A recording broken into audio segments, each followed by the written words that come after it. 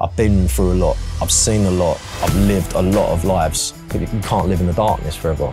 And no matter what happens, you, you've got to keep moving forward. Like, you've got to keep moving forward. But the adrenaline that I get from acting, it's, it's unreal, mate. I can't describe it. I'm like floating in the water there. There was this big angry swan here, and I was like, uh, and it had its and it had its babies around him, so it was obviously in protective Yeah, mode. yeah. And I was like, oh, I really didn't think this through. And I was like, now I just look stupid on camera. Art is about breaking boundaries. It is all about breaking boundaries. That's what all of our favourite artists did. They were talk about Shaun of the Dead, remaking Shaun of the Dead. Are you fucking stupid, mate? They talk about remaking Scarface, the ultimate, the original rise and fall gangster film. You want to remake that? Man, I've been through shit. My life is tragedy. Like my life is tragedy, and I, I can project that easily. And I actually struggle more with the comedy aspect. I struggle. I can cry on cue better than I can laugh on cue. Sometimes, I, if I'm in a moment, there's a catalyst, a switch in me which says, go all the way. Like, mm-hmm. see where that goes, feel it. Hmm. And I think that's the unhealthy side of acting. And that's what I'm talking about. It's in the text.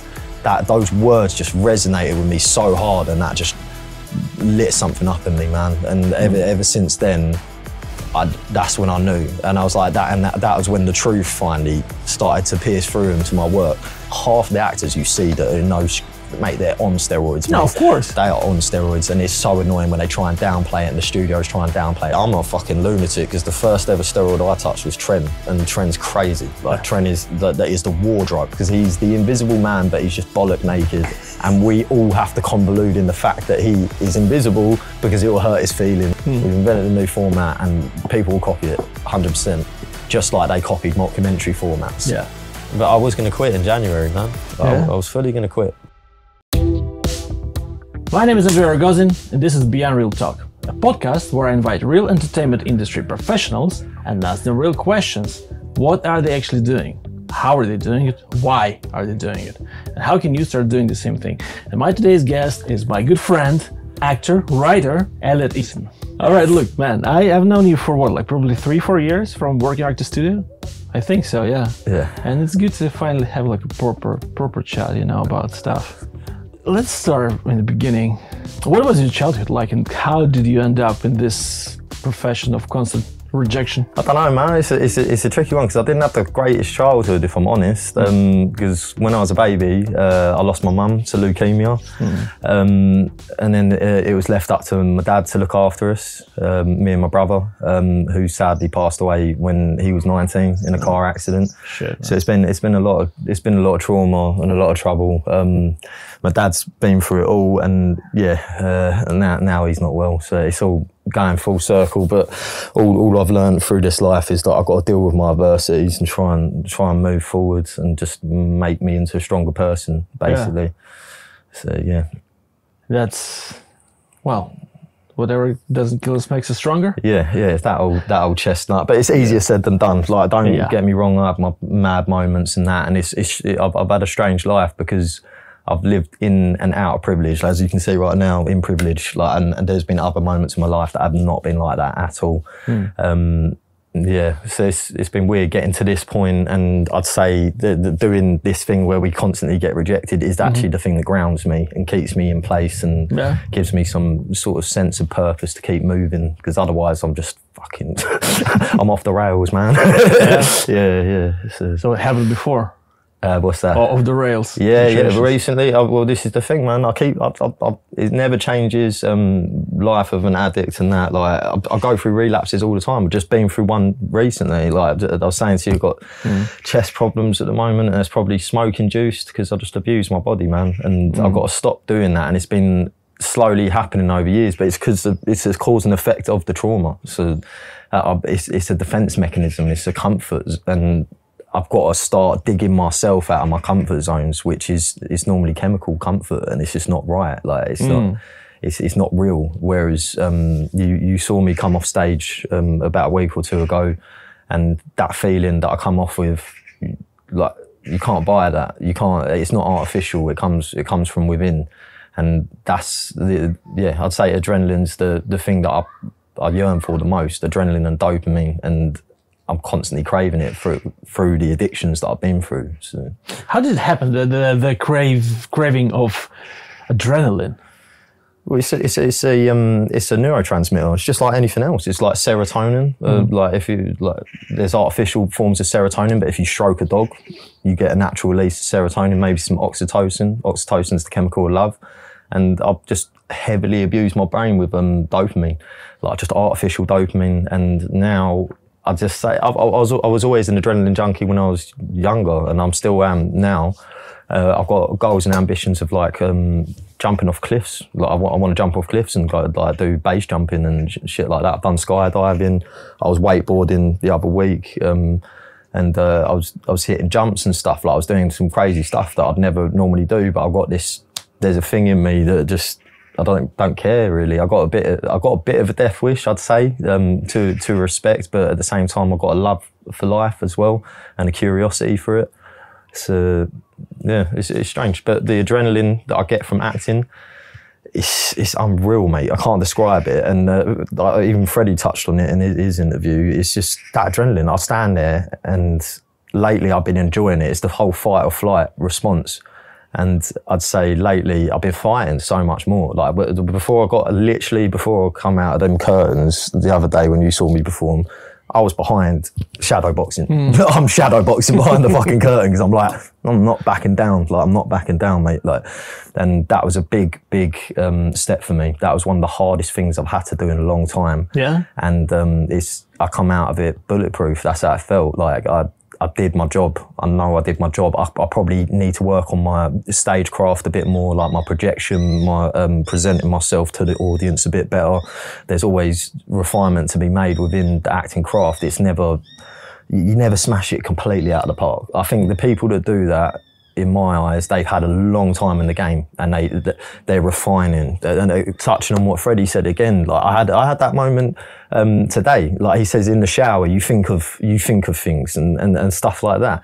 And I think that's the difference between a well seasoned actor and us that are still sort of new to the game. I think I, they they've got that level of intuition, and I feel I'm slowly building it up. I would argue with that because yeah. I think I don't remember whose book I was reading. Uh, was it Stella Adler? Like I don't know, but someone who who's been in the game for like decades and decades, and they were saying that sometimes you do a show like a full season, and then only by the end of the season you finally realize, oh well, that's how that's what the scene is about. That's how it can play. That's how it actually can feel inside of the scene. Like this, this is and then it's kind of the, the last couple of couple of uh, performances and that's it so i think it's uh, everyone is on this journey not yeah. just not just people like us who are like less uh, experienced than you know some people who've been like yeah. in the game all their lives. Like everyone is kind of still still gets the discoveries and uh, but by the end of the run sometimes. yeah it's uh, the, the point that I, the only point I was making there was more it's more about intuition. Mm. and I think it's just and we know it through like acting and that before we approach a scene. It's, it's, it's heavily intuitive like based and that, and that's what I'm saying. I feel I just feel like more more seasoned actors their intuition's just yeah it's ready it's ready yeah. to go and i just don't feel like mine is fully there yet mm. and that's the only point i'm making in that and i feel like that's what every actor is striving for yeah i was watching a scene with han solo you know han solo before he goes in the uh, carbonite and he goes I love you. I know. Like that was an improv line, and I saw his whole like impetus behind that, and yeah. I was like, yeah, that fully makes sense to the character. Like, and that, that's what I mean. But it's these bold choices, and yeah. lately, I've, I've not had the balls to make some bold choices that I want to make because I don't feel like I'm that in that point in the game yet because I've still got to pay some dues and I don't, I don't want people to think I'm being egotistical and mm-hmm. it's, it's a tricky one, man. Like, it also depends on, on the situation that you're in. Like if it's environment, just in general, like very kind of open for you to be more playful and experimental. If you have time for yeah. this as well, then, then yeah, it's it's it's. I've got to do downstage like all three of those nights that I was on stage. Now I've seen, now I see what it's about. It's not, it's not, it's the stuff that Lee taught us, isn't it? It's like, it's not about orchestrating it. Like, to, to, you can't, you got to just let it be. You got to let it be. And that's what I realized in the second performance was I was constricting it again. I was orchestrating it too much. And I was like, and and I was feeding off the audience too much, and I wasn't present in the moment. And then by the third show, I was like, "Oh shit, I got it now!" And I just literally had to just fully give myself to the piece, and then it became something more beautiful. Look, uh, the, if we're talking about this particular performance right now, let's just discuss it in more details because I I watched it. I really enjoyed it. I think it was very funny. It was like a lot of a lot of uh, uh, left turns and right turns and U turns, and that was it, it, it, it caught me off guard quite quite a few times. So I really enjoyed. But like, tell me more about the projects. Like how how did it happen? How did you find it? Who wrote it? Yeah, it's it's mercurial, and it's that for a reason. It's what you said: twists and turns. It's here, it's there, it's everywhere because that's what it is. It's a it's a mood shift. That's what the show was meant to do. The previous show, it's been it's been through two versions. That was the second version, and that was um first version was very disturbing.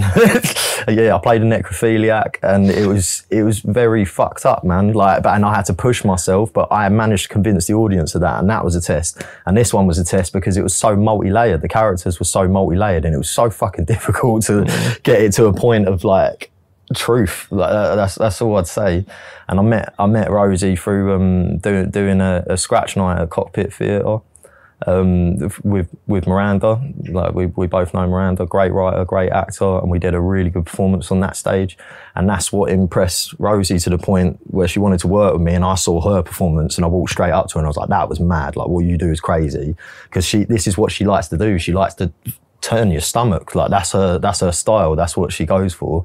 And then we just got on we went and did a, a scratch night at a Solancha Solancha you know it's how you say cheers in Irish? No, so I it's, it's, a- it's an Irish um, uh, like uh, hub basically. Like they only really let the only reason I was allowed to go perform there is because Rosie's half Irish.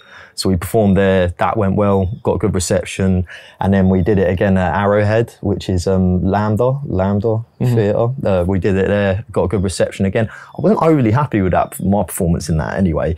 Um, and then uh, yeah, it developed again because Rosie did a night at Riverside, and she's a she's a mad cunt, mate. she, I see her do a um, a, a sixty minute show by herself. Oh my god. It was insane. Like, I can't I can't fathom what she did, and that was when I saw levels, and I was like, but I, I witnessed her do it. I witnessed her do it, and I was like, I can do that. Like I can, I know I can do that. Any of us, she any, any does she write her that material all the time? uh, this time it wasn't her. She learned she learned an hour's worth of material and she was talking from start to finish and it wasn't even her text and she learned it in two weeks. Blew my fucking weeks. mate. It, it blew my mind, and I'm going crazy over 46 pages in the space of. Uh, I had to learn that in about a couple of weeks, and when I kept telling myself, I was like, "This is less than what she had to do," and I was like, "This is nothing." Like this, and now that's what you got to do, and that's what I mean. I've done that, and that is one of the hardest things I've had to do today, and now that is a. I've set the bar somewhere but there's still space above it. No, but And, still, uh, like it, it, yeah. it, it's a step. It's a step. Like Yeah. you know, like I did that, so this is already like you already know, like okay, I actually can do that if I need to. And that's it. She inspired me. And then, uh, luckily enough, she turned around to me because um, we know a girl- called Julia that helped uh, help us put it on on the Arrowhead Theatre, and she just loved it, man. And she wanted to take it and uh, do something with it. And then they got these connections with the Riverside now, and we got put onto that Bite Size Festival, and it was one of the best experiences of my life, mate. Like I really, I'm, I'm really glad I did it, but I'm. I've fuck, yeah, my health's suffering for it now from all the stress and that. Yeah. But I got out the other end of it. But like you said, it just makes us stronger, man. Like it, it it makes us stronger every single time. So hmm. How did you get into acting? What was your first experience? How, like, why? I, I worked. I worked with this director called uh, Solomon Lichon, and he um, he does a lot of music videos for like big major artists. and you worked with him as Um, it was basically I was I was actually in a this is because I was in a low state of my life. Like I was not in a good place. I was um, hanging around with the wrong people. Um, a, a friend of mine, she she knew this as well, and uh, she she was getting into modelling, and she was just always on my case. Like she was just like, you should model, you should model. Because they they were mainly on about my cheekbones and that, and you're a good-looking guy. but I didn't. I didn't feel that way at school. People at school didn't make me feel that way. Um, I actually felt ugly up until probably the age of 21, and then uh, she put some confidence in me, and she was like, "No," like, and I, I was like, "Okay." She sent me to an agent, and I just couldn't believe it all because in my head I was just like, I just, I, I I just can't see myself like that. And um, after time, I just started to realise, oh, I am that. People were people were putting me down back in the past because they just didn't like me. It was like elements of jealousy and that. And I was, I was a bit of a little shit as well. So like, it, it's probably their way of spiting me. I don't know, but it, it, it, took me a while to develop my confidence, man. Like I had no confidence. The, the modelling helped boost it, but at the same time, it's not me. It's not me. And they kept sending me to these um the, these uh, commercials and stuff, and they just realised like I'm just not up to scratch. Like I haven't got that ability. I started at Identity, but my first ever proper modelling job was this music video with this mm. Solomon Lichhelm, and I was playing a, a crackhead, and uh, it was a really beautiful song, man. And it's so messed up because technically that um, that that video hasn't been released, and but it is it's on his website. But he told me there on the spot and he said like you should be an acting man and I was like really he goes like yeah you got you got like a natural gift for it mm-hmm. and I was like okay um, but there was no dialogue through that but uh, yeah and that that sparked something in me and then when I went to go join with Identity, they put me straight into the intermediate group, which I was baffled by because I was like, I didn't know how to learn lines and that. And for about two years, I'd say I'd rock up to jobs, I'd rock up to classes, and I did not know my lines. I was not professional. I was um, I wasn't taking it seriously. Um, because I, I, saw how the modeling industry works within the film industry, and I don't agree with it, man. Like I, I got looked at for so many things with no skill set whatsoever, just purely based on looks. Like I almost got cast in a lead in the, a, a film that did quite well, and ironically, I almost got cast again when I was on the set because the lead turned up and he'd had a haircut when he shouldn't, and then they got me to read lines I couldn't get off book. Like there's the other guy, and he got off book in a second. It's a page of text. Now I look at a page of text, I laugh at it. I'm like, that's nothing, mate. and I wish I had the skill back then because uh, I would have it would have opened doors for me a bit more. I had a lot of opportunities at the start, and now they they're far they're, they're far and few compared. Yeah. But that was through the modelling game, and I just don't. I don't know. I feel like there are some models out there that can do it, um, but I feel like it is a bit unfair because I feel like a lot of actors aren't getting seen to, and there's a lot of but skilled still, people out there. Like at the same time, you like if you have the skill, if you had the skill back then, you wouldn't be just a model. You would be a model and an actor because you have the skill. You can you can you, you can memorize the lines. You can you can yeah. act. Because I don't think it's very rarely like they can take you for the role if you can't act just for the looks. Because well, they will lose money. yeah, but that's what, what, the only thing that spurred, that's that's the thing that spurred me on was um, they would always say whenever I entered a room or I did something, they go, "You got a raw talent." They say it's raw. Yeah, it's raw. It needs I agree to, with that. It needs to be refined. And and I was like, okay. And I felt it because man, I've been through shit. My life is tragedy. Like my life is tragedy, and I I can project that easily with ease, and that's why. Um, but it hurts at the same time. Don't get me wrong; it's difficult, but it's, it's e- I, I think it's easier for me than it is for other people because I've lived through tragedy, so I know where it is. And I actually struggle more with the comedy aspect. I struggle. I can cry on cue better than I can laugh on cue which is fucked.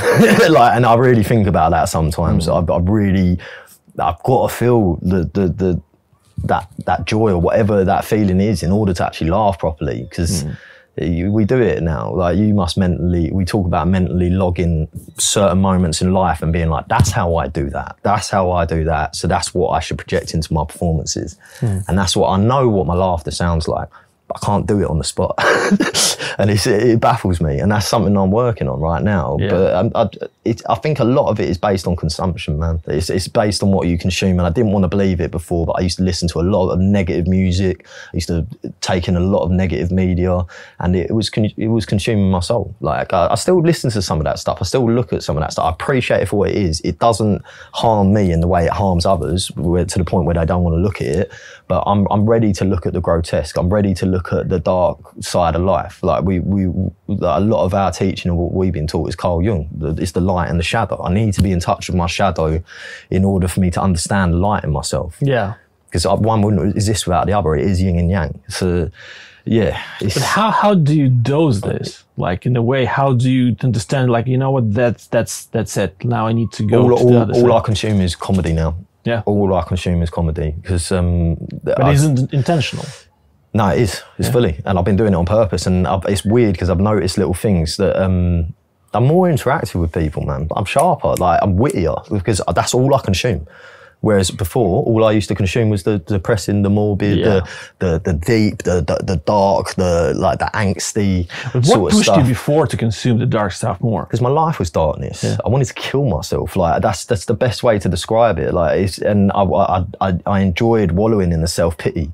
I really enjoyed it. There was a there was a catharsis in it, and um, I used to make music and it was very aggressive. And when I first got into acting, I was like, yeah, this is what I'm to do. And then after a while, like you was there in class, everybody's like, we're only seeing really one side of you and it's very dark. And I was like, right. And I I started listening to that.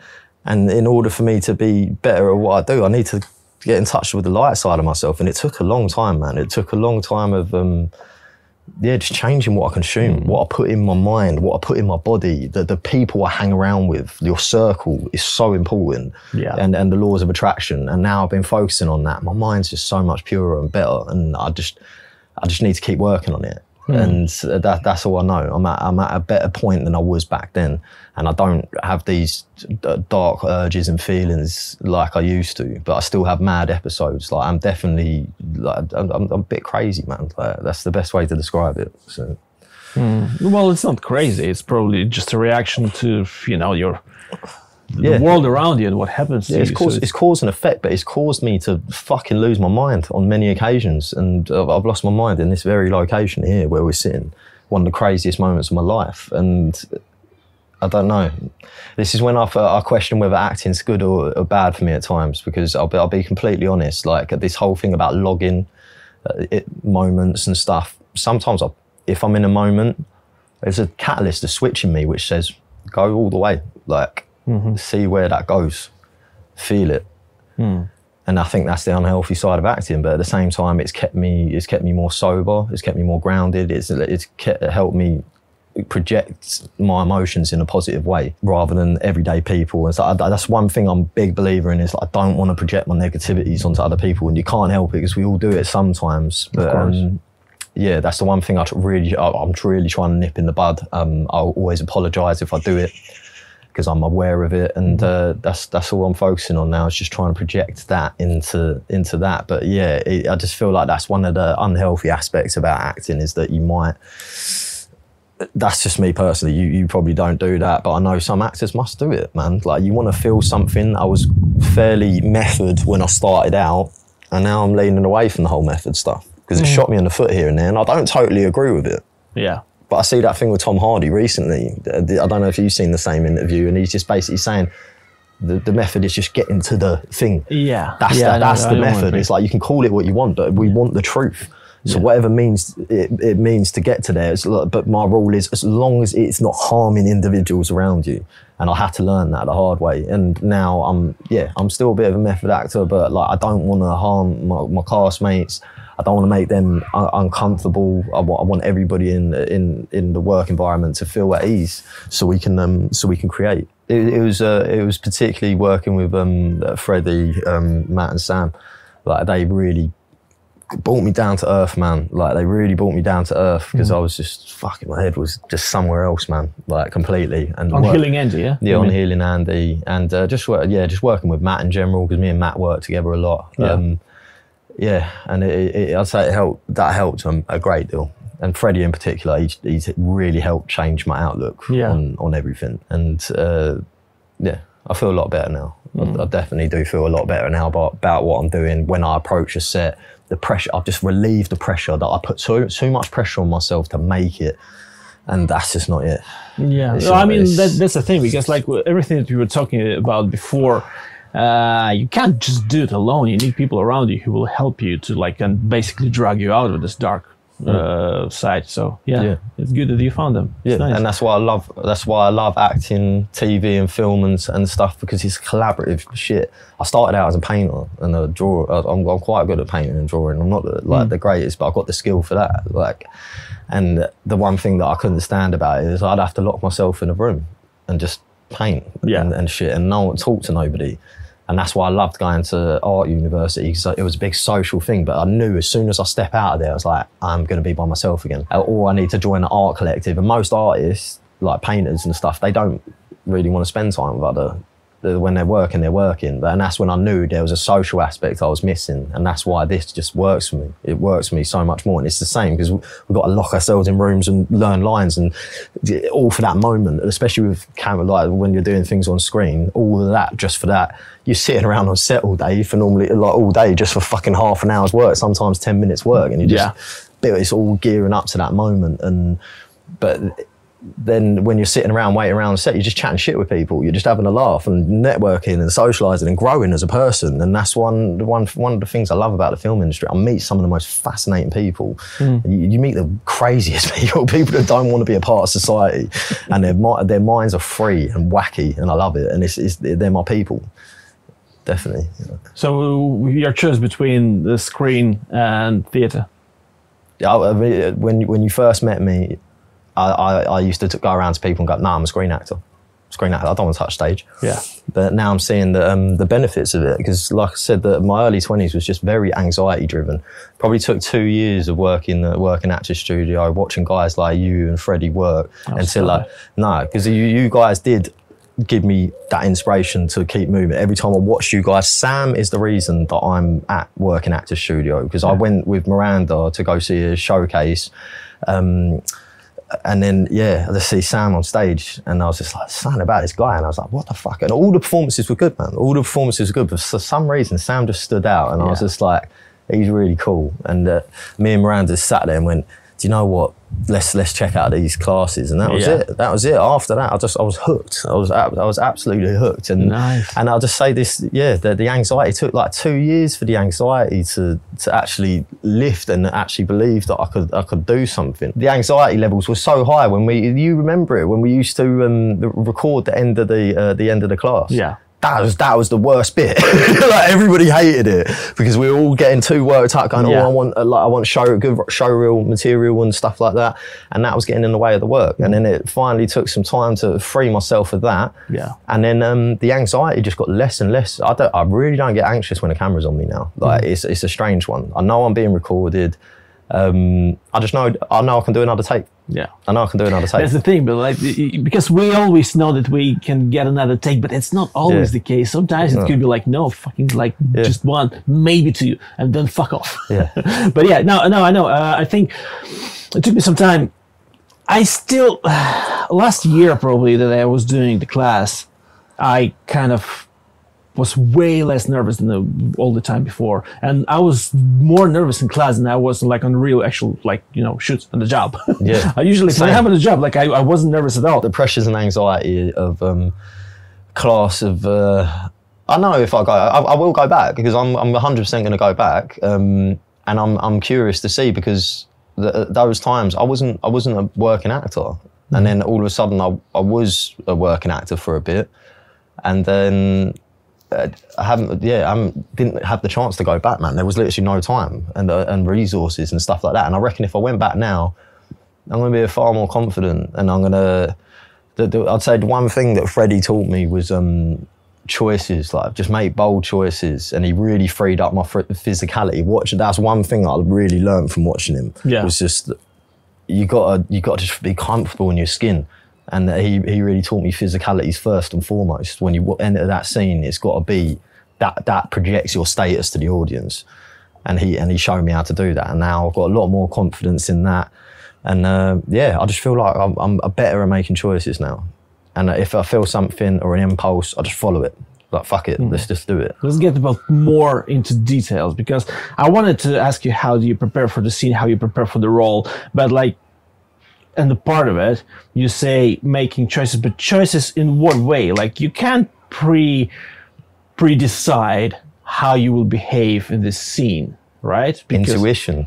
because we, talk, you- we talked about intuition Because earlier. if I react to, to what you do in a very different way that you expected, if you will keep doing, doing the same thing, it won't make sense. So, like, what do you mean about the choice? Is like choice in the very beginning, choice- or a choice in general on the situation? Then you will see It's- how it's- it goes. I'd say it's in the prep. I'd say it's in the prep. And um, one thing that I do now is uh, I actually learn my scripts in accents that opposite to what I'm going to do them in. yeah, So then it makes the text feel fresher. So I- it's not overworked. And when I'm playing around with that, um, uh, Beth, the director we worked on uh, Mercurial with, she's brilliant. And that was one thing she loved doing was actioning the script. Like you go through your script and action it.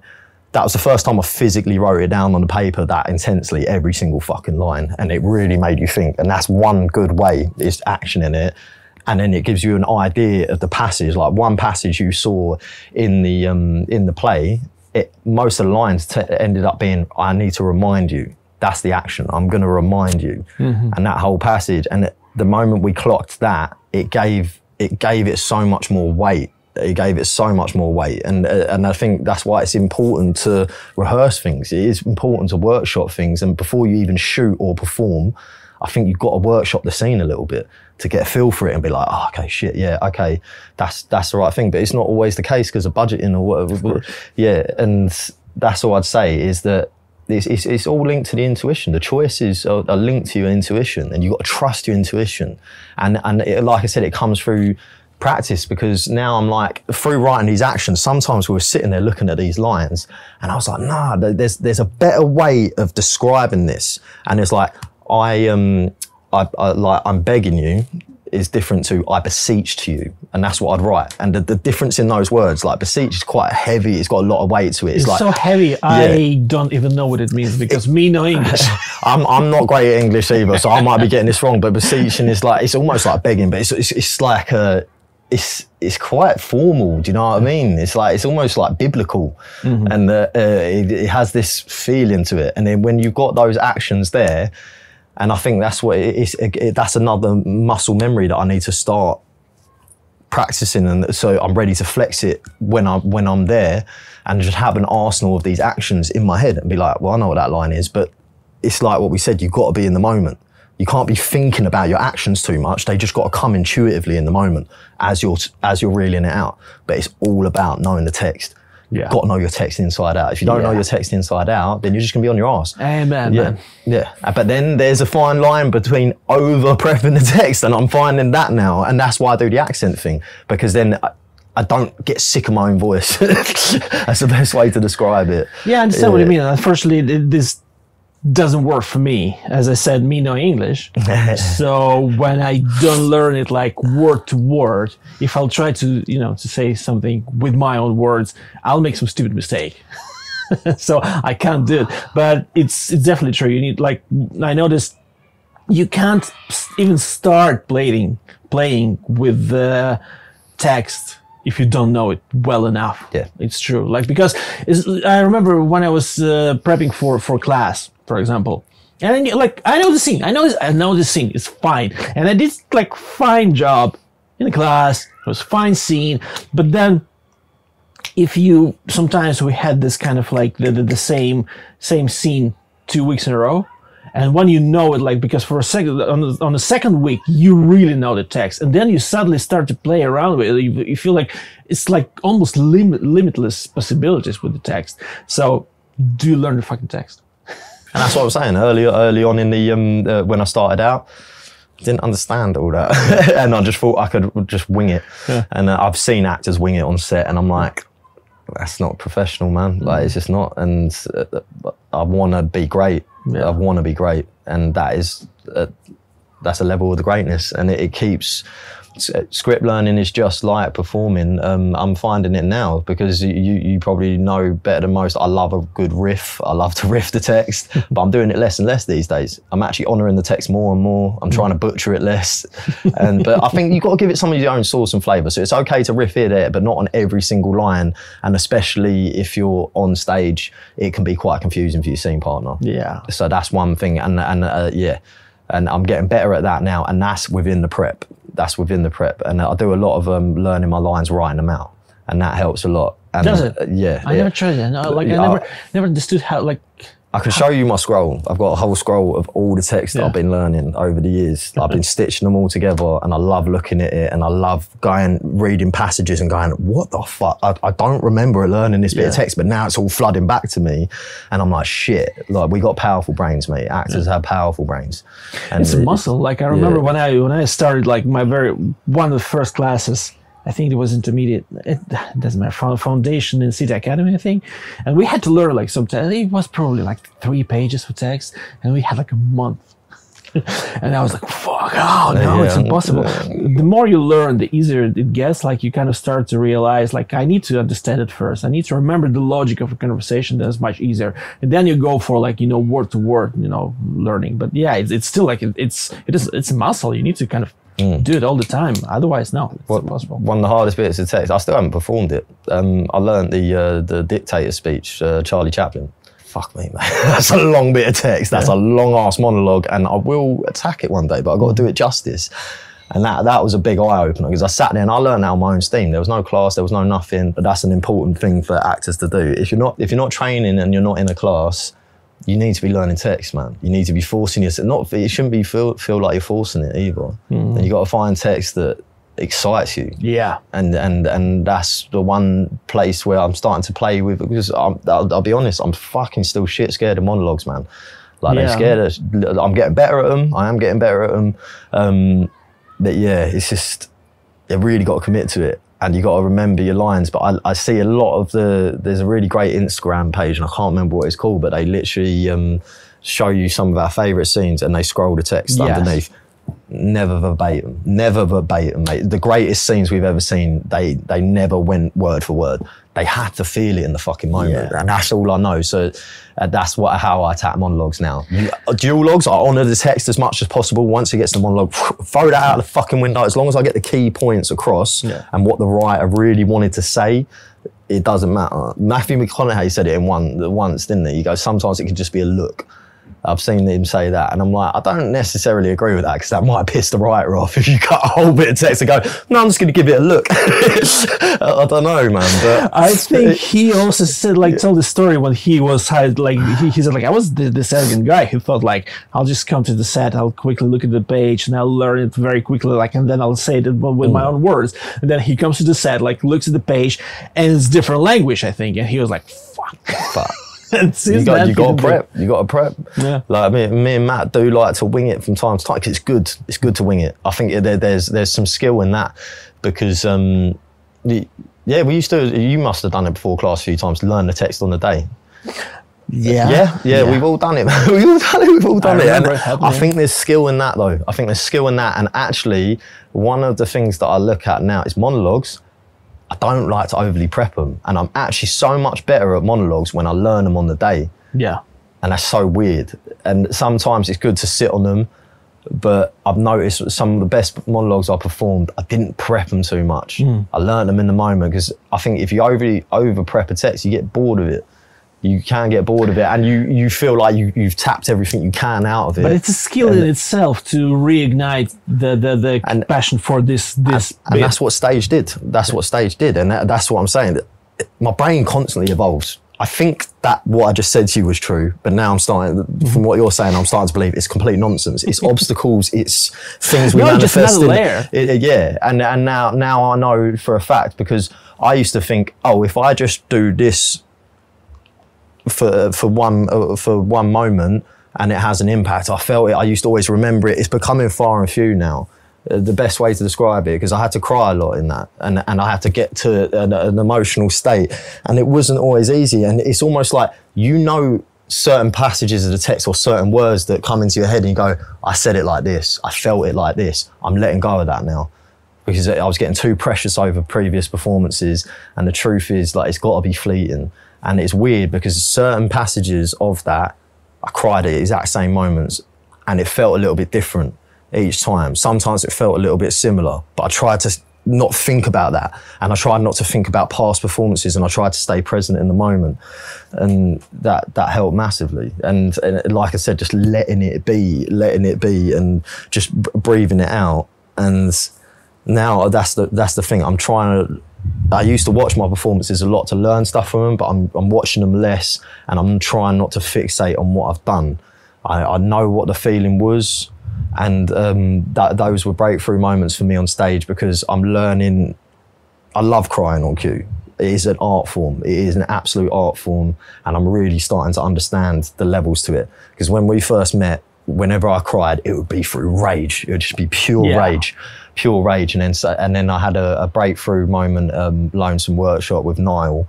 And Lonesome Workshop's a little um, workshop on Bond Street. It's great. It's pop up. He, he does it everywhere.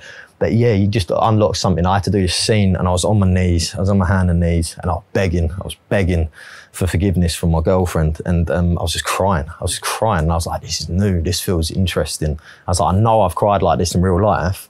But I feel like most male actors, when I see them on screen now, I watch it a lot of the time. I go, "You're you're you're leaning on the anger."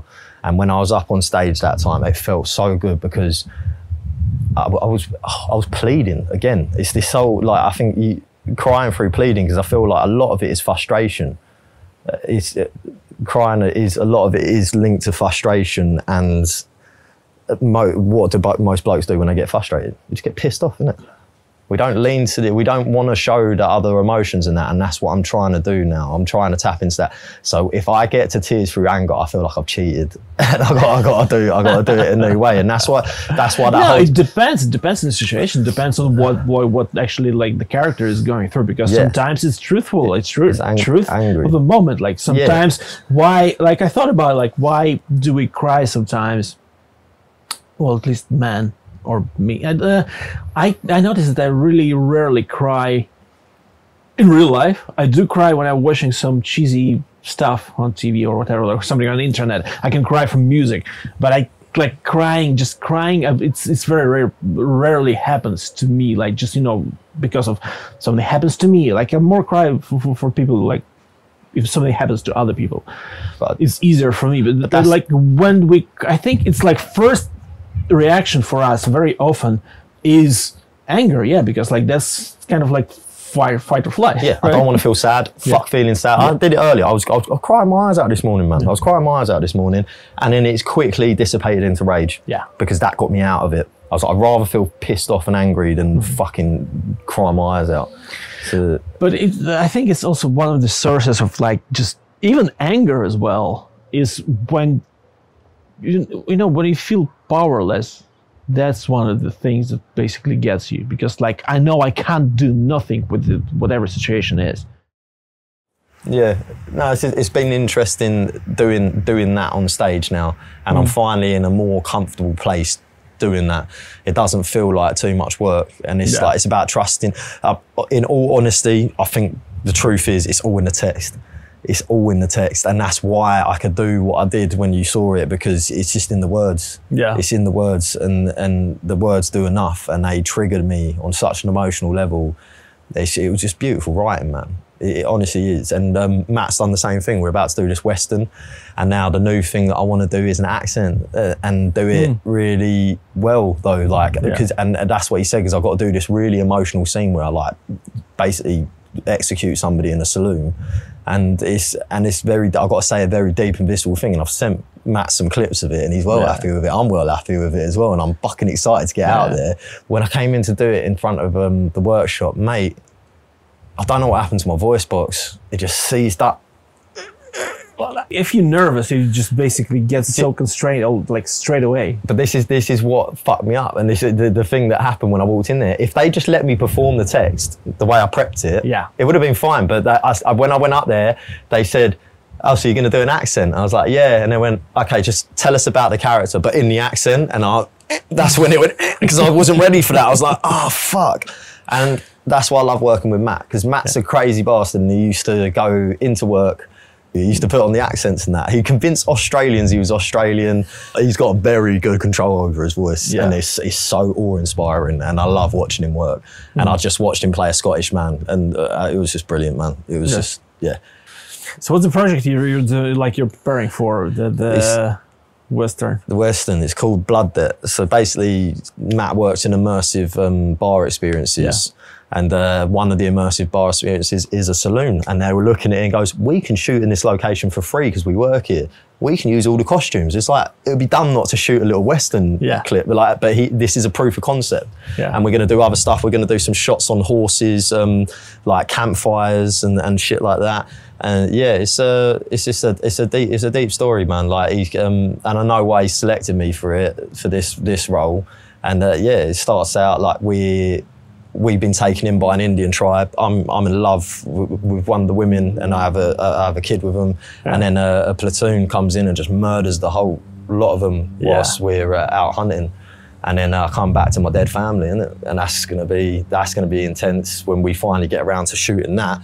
But this is the crescendo. We're shooting the crescendo. Like I've, it's called Blood Debt because I got a list. I got a list of all the soldiers, and I'm gonna slowly slaughter every single one of them in a path of revenge. The bond's there, the chemistry's there for me and Matt. Like I always knew we were going to play brothers at some point. Mm-hmm. So I'm glad that we're finally playing brothers because we will make it very convincing. Because Yeah, yeah, well, you, you definitely did. I still remember that amazing performance that you both did in class with like when you both were crying. that was the the epiphany. That was the the switch. And even Lee saw it in me that day, and everybody did. And I was like, shit, like Yeah. that. But that's when I started tapping into that darkness too much because I was like, this is my truth. My life Mm-hmm. is dark. You you lot are seeing it because there's a line in that. There's like there's a line in that, and I still think about that line today. And it's like, how do you know? How do you know? Because I don't even fucking know. If I don't know, how the fuck do you know? And that there was something in that, and that's what I'm talking about. It's in the text that those words just resonated with me so hard, and that just lit something up in me, man. And ever mm. ever since then, I that's when I knew, and I was like that, and that, that was when the truth finally started to pierce through into my work, and that's what I've got to fi- keep tapping into now. Mm. And and I've had many breakthrough moments like that in class because I was almost going to quit because I couldn't find this lightness, and then the day I wanted to quit, I was so light, man, and I had the whole class laughing, and it it just yeah. There's got to be truth in it. That's all. That's all Yeah. I know. That's all I know. But that that was a breakthrough day for me and Matt because Matt's he said that was the first time he ever cried on camera, mm-hmm. and and now we've been teaching each other to do that. And we thought, like I said, we thought we knew how to do it. We've done Myers now. There's so many ways to get there. There's so many ways to get there. But it's, it's we've talked about it a lot. It's not the be all and end all. And I finally realised that I was like, oh yeah, I'm good at that, but it don't mean shit if I can't make anybody laugh. It's, that's it. So- It depends on your niche, but it depends uh, on the niche, but I think an actor needs to have range. A Yeah. Like a true actor, the, the the greatest actors that I've ever seen, they need to embody something else, bring truth to it, but they need to have a range. Hmm. And that's what that's what I see, and that's why I like um, I, I, I, I'm not I'm not talking down about a lot of male actors, but it's like I'm saying I'm I'm I'm tired of the frustration. I'm tired of the frustration leading to crying, anger, and all that. I'm like I want to see something new. I want to see new levels to.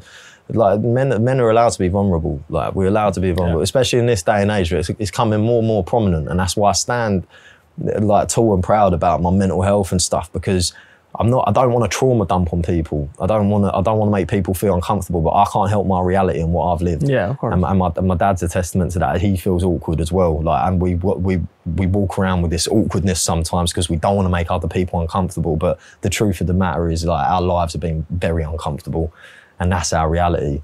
So, what what am I supposed to do with that?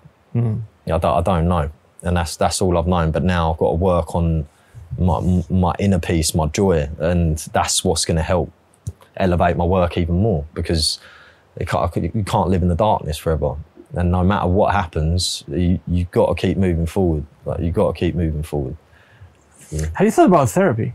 I've been through therapy. Yeah, I've just been in therapy for half a year. I'm on a little break. I'm, I'm about to go back.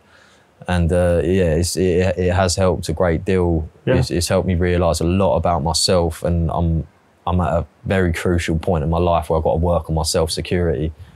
And um, that acting's the main glue that holds it together. But I'm struggling in a lot of aspects of life right now, like my relationships. Um, yeah, I'm just not. I, I really need to work on myself. I, I'm, this goes back to the laws of attraction. You've got to be right in yourself in order to attract the right things. And I'm not right yet. I know I'm not. And that's what the therapist has addressed. That's what I've addressed. And I need to get my head right. And I'm doing it slowly because it's it's a process. But it's um yeah, man, it's the anger. Like I got I got serious anger issues and I've really got to work on them. And I'm getting better. How? What, what, what are the tools that you have to work on that? just calm, just calm myself, just be more rational. Um, it didn't help for a period of time because I was on steroids, and that, that that just doesn't help. And I saw a really good thing with Doctor Israetel recently. He's like he's he's big in the game of doing that. He's big on juice as well, um, and that he opened my eyes. It's like a fog. It's like a you you do think about violence a lot of the time, and I was already an angry individual. And um, I, Yeah, I, I think I think I've seen the, the video. I think it was him when he was saying like the basically yeah when you're on steroids, you're based you you are like first of all you're getting dumber. You, yeah, you yeah. You, you, you, like, I'm not, I'm not an idiot. Like, I've got a, a certain level of intelligence, but it does create fog. yeah, yeah, yeah. It does create fog, and it's harder to rationalize because testosterone. I, I, honestly, I think that it's this. the people that won us wars in the past, they were hopped up on testosterone, but I think they had it naturally.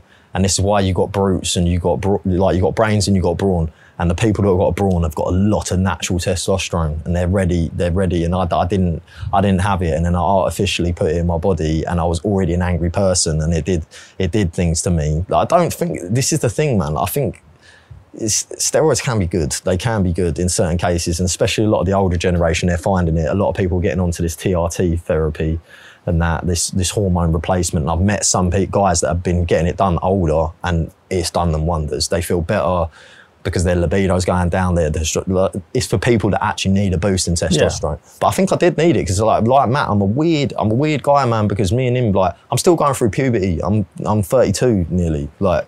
I, I didn't get I didn't get facial hair until I was about 23 and stuff. I didn't get armpit hair until I was about 18. Hmm. And me and him have got young, youthful looks and stuff. And I feel like part of that was a lack of testosterone. I don't mm. know because I noticed every time I did a course, I started getting more beard hair and stuff mm. like that. I think I was miss I, I was missing testosterone. Man. That's it's, It's- yeah, it's different for everyone. Yeah. Mm. So, but now I'm at a point now where I'm like, I've seen its negative effects, I've seen its positive effects, and I just don't need it right now. I was doing it mainly for that character, that Maverick, the, the one we shot out in um, Italy, because I was like, he's a stripper. I just wanted to be in good shape all the time. And uh, mate, I, this is something that needs to get talked about and addressed more in the industry. It's like half the actors you see that are no, mate, they're on steroids. No, mate. of course. They are on steroids, and it's so annoying when they try and downplay it, and the studios try and downplay it. It's like, I'm not a fucking idiot. I work out. Doesn't matter. Like they're not athletes. They don't compete. They don't break Yeah. any rules. Like if you need to look like this for the character and you do it in a smart way, you're not harming yourself. You have like people who actually teach you how Yeah. to do it without harming yourself. I don't care. Why? Why play it like it's oh no no. It's, it's, it's about the kids, isn't it? It's about the kids and not and not get influence them in the wrong way. Because like I said, steroids can be awful, mate. They can Yeah, be so course. bad, and if you're not educated on them, you can really fuck your body up, and you can really do bad shit. And yeah. yeah, and that's that's it. That's it. How That's it. like how how did you do it? Like when you did series, how did you do it? How you how did you control? Like did you study what to take? I've just grown up around it. I'm a fucking lunatic because the first ever steroid I touched was Tren, and Tren's crazy. Like Tren is that, that is the war drug. Like it, it was. I think if we if we want to send soldiers to war, just get them hopped up on Tren, mate. They'll want to fuck. I, I barely slept, mate. I'd sleep like five hours, and I'd wake up and I was oh, I just want to do some press ups. I'd just be on one all the time, man. I was on one all the time, and it was just it's it's an interesting thing. But I'm, I'm I've always been curious about substances and things like that because every time I've done them, it's unlocked something in me mentally. But I think that's part of the reason I've been addicted to a lot of things. But now I've there's only a certain amount you can get out of most things. Like I, I had that with weed, I had it with ketamine. So yeah, but I'd, but I'd say that three three drugs that have definitely changed my life is um yeah THC, ketamine, and and steroids, but also psychedelics, man. But I I have abused all of those. I've abused all of those things, and through the abuse, I've realised yeah, there's there's there's only so much positive you can get out of it. But I, I didn't actually abuse steroids, to be fair, man. I didn't do them that hard, like at all, and I did them cleverly. uh, My cycles, most guys will do about. Some of them will do can, can do up to three to four cycles in a year, depending on how long the cycles are. Um, and I was doing two max. And uh, now, now it's nearly been a year away from it, and I feel better. But I know there's still some of it in my system and stuff like that. It takes a while. Why were you doing it like in the, in the first place? Curiosity, man. I was, uh, yeah, yeah, just curiosity. Because I, I don't think you ever had like a goal like I just want to be very very big and strong and Yeah. huge. And, you know. I just wanted to be strong, man, and I, I'm still working on my strength. I'm still you, working. you're huge. I, I've seen you working out. Like I've seen your stories, like how you work out, because it's fucking intense. I wouldn't be able to do it. It just looks scary to me and very, very kind of dangerous. Because you do some some of some exercise, I feel like fuck. There's like it's one step to the injury. Yeah, yeah, and that's it. But I, that's what the, I love the fear. I love being on the edge. That's what pushes me. Yeah. I like being scared. I don't normally have a spot. People don't normally spot me because I, mm. I, the fear of failure pushes me through. Like, and and that's the thing. But that's all. All I learned through through the steroids is like I'm an animal, mate. Like I'm an absolute animal, and I don't need them. Like I know I'm, I know I've got the capacity to do that, and I actually normally hit my PRs off cycle. That's all I noticed. That when I initially did them, it helped me a lot with my strength, And then after a point, I actually realized every time I finished a cycle, I was actually doing my best work off a cycle because I was getting so paranoid about not being on them. I was like, oh shit, I need to overcompensate for this. And I actually, I was lazier when I was on the steroids. Hmm. I was, I actually work out so much harder when I'm not on them, and and I'm vicious, mate. And and and I keep, um, it's all about goals. It's like it, it, within anything we do. And that's the only reason I like working out. It keeps me grounded. It keeps me. I got to have a new goal. Uh, right now, I'm just trying to overhead press 40 kg dumbbells. I'm on 38s now. I'm there. I'm nearly. I'm nearly there. And it, but it's, that's been months of work, man. I haven't posted about it because that's what I've been working on. And in, a- in a month or two, people are going to see me lifting them weights. But bruv, it took a lot of work to get there. It I took- don't think I ever uh, ever yeah. went like got past twenties. 20 but that's what i started on Uh, like that was uh, i'd say about f- four months ago i was struggling with the 20s every time i go in there i'm like I remember I, I do strength training. I mainly do five reps. We're getting off acting, man. but I do like five, five. That's what I'm normally going for. I'm going for five tidy reps. Yeah. And uh, that's strength. People think you need like yeah, it's five. Then you work your way to eight. If you can do eight and twelve, up that fucking weight, man, because you, you can up that weight. Hmm. And it's the same. But I, I, I love I love that principle because I apply it to everything hmm. it bleeds into it bleeds into my life now. Like I, I look at things, I'm like, okay, that can be improved. Everything can be improved. Like and and that's the way I do it. It's like start off small, stretch it out, and Yeah, but you have to concentrate on like on one kind of part of your life first, and then go. Because if you try to improve everything at once, I think it I, like I work out once a week at the moment. I work Yeah. out and that, but I, I couldn't have done that back then because I had to build up the uh, the mass, the foundation, the strength.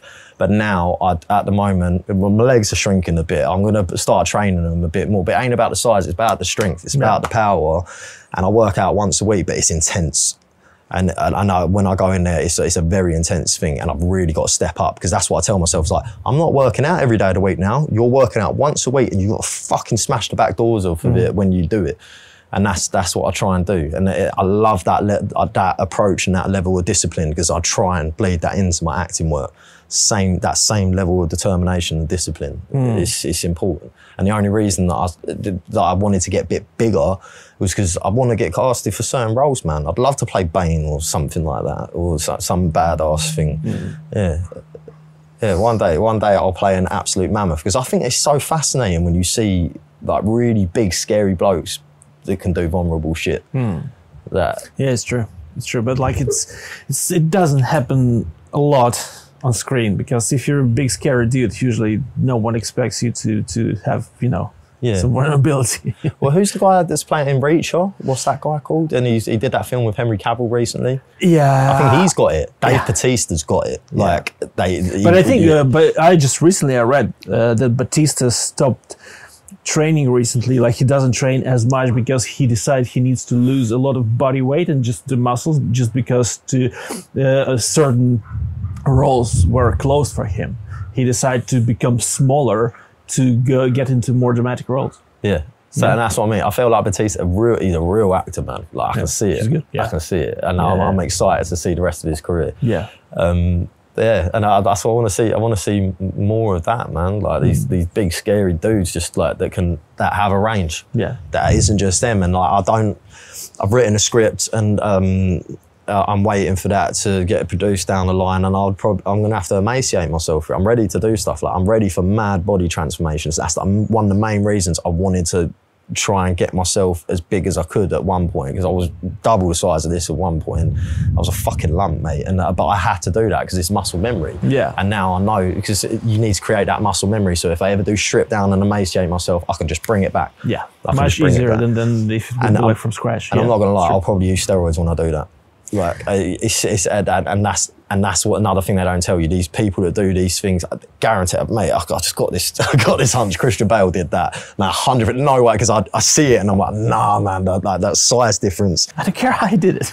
Yeah, exactly. But that's what I don't look into it. So that's the thing. But some people are really on it, and uh, some people are very anti that, and that's why I'm, I'm here to break down the stigmas of a lot of things, man. That's what one of my purposes in life is to, yeah, d- destroy stigmas because stereotypes do they exist for a reason, mate. I'm not gonna lie. There's certain people that repeated behaviours and that, but it's not always the case. It's not always the case, and um, yeah, some some people are exceptions uh, a, a lot of the time, and it, I think we need to address that more. Um, Yeah. Let, us let's talk about all of the projects that you want to talk about. I think Healing Andy Turk, uh, the new thing with They Might Be Monsters. I've done a, a, selection of shorts that I really fuck with. I've done music videos that are really cool and stuff. And um, yeah, uh, there's just a few that have really stood out to me. But yeah, the Turk is definitely one of them. Um, I've got quite a good pounds with James now, the guy that, uh, that wrote it, and um, he's actually in it as well. And he's he's just made a really cool series called Fire at Will, which is uh, you'd fucking love it. That's doing well. It's starting to win some awards. But um, yeah, the Turk was great, man, because that's when um, me and Matt just did some. Uh, this is me, man. Like this is one of the things I want to try and do in the industry. Is like I do want to start breaking some industry standards because they get a bit rigid and boring, and it's like why, like everybody's like, oh, oh, oh I can't do it like this, and it's like. Oh, just like just chill out, like just chill out a little bit. And when I self tape for the Turk, I just see there was two names on it. I saw there was two names on it, and I was like, this other role's perfect for Matt. I, was, I messaged him. I was like, brother, we need to self tape for this. And I was um, I was miles away from him. I was I was living in Kent somewhere, and uh, I, I, said to him, I was like, I'm going to drive up and see you. He's like, Can you help me with this self tape? He went, Sure, yeah, yeah, okay, let's do it. We sat in the car. Like I said, Matt's the bollocks. I'd already prepped the text a bit. Matt's the bollocks. He learns it on the spot. learns it on the spot. We're sitting there and we're just pretending we're in the car and we send it off. And I was like, and he goes, that was quite unorthodox what we did. And I was like, yeah, I believe in unorthodoxy because I like I think it's more exciting. Yeah. But it's shot me in the foot. It shot me in the foot, and now I'm starting to see the like the lines of it. If it, like if it's a bit more innocent, like I said, if it's not making people too uncomfortable, that was fine in that scenario, it was fine. The director saw it, James saw it, and they were just like, they rang us up two weeks later. It's like, both of you. And I said, told Matt, and he was like, what? And I was like, yeah, I told you. That's why I did that, man. that's why I did that. And then it's just led to some great things because now we've met Velton, and um, yeah, we're just doing some cool projects. And that, that project led to They Might Be Monsters. Mm. And now me and Velton and Jane, Jane's going to play my mum soon. Mm. We're going to do a very dramatic yeah. piece, and I'm looking forward to that. So yeah. the Turk led on to good things. Got me signed to Fiona as well because yeah. Matt Matt went to go put it on his show reel, and then she went, "Who's that?" Oh, really? She, she has it. And that's it. And I went in. I, there was no. It, there was no discussion really. Yeah. But she she wanted like, to. You're with us. Yeah, yeah, yeah, that's good because like right now it's four of us, four of us for Working at Actor Studios, four of us with, with Fiona Cross with my agent. Yeah, no, nah, Tur- Turk's been good to us. It's been very good to us, and it's. Um, so what's happening with it? Like, is it finished? It's a shame because like we talked about it with James, like his new thing, Fire at Will, fucking it's brilliant, mate. It's so brilliant. I love it. I love it, and I lo- I do like the Turk, but it's just not shown. I don't think it's good enough for the pitch. I don't think it's good enough for the pitch because it shows the characters and that, but his ideas for that series are fucking wild, mate. And he should have been planted more of that mm-hmm. in the pilot because there, there's going to be a serial killer on the loose. You don't know who who it was going to be. It was going to be one of us. It could have been me.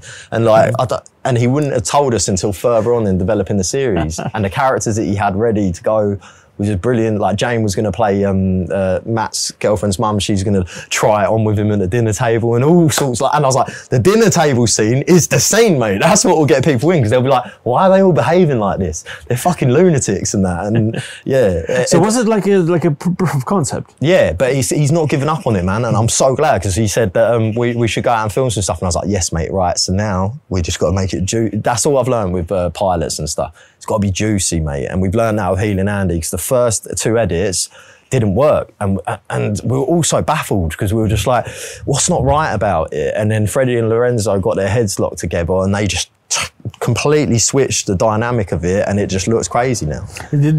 Just in editing room? Uh, yeah, because basically it was four episodes. Uh, uh so and, if uh, you remember, if you haven't watched, go and watch the episode with uh, with Frederick Lysegaard. Uh, and uh, the Healing Andy is a series that the you guys shot into like in, in the course of what a year, two years. uh, yeah, it still was dragging out. Still, it's still going on, man. And we and we still probably got some more content to film. Yeah in order to promote it. Yeah. Because the promotion is going to be fucking crazy. People are not ready. We're about to do some fucking wild shit that's going to probably get us some recognition. But, but that's what this whole project's been about, and that's what I'm about as an actor. That's what gets my juices flowing. Is is, is conceptually different ideas. Yeah. And this con- concept is out there, mate. It's mm. different, never been done before, and it's going to be fucking crazy. And that the whole process has been mad.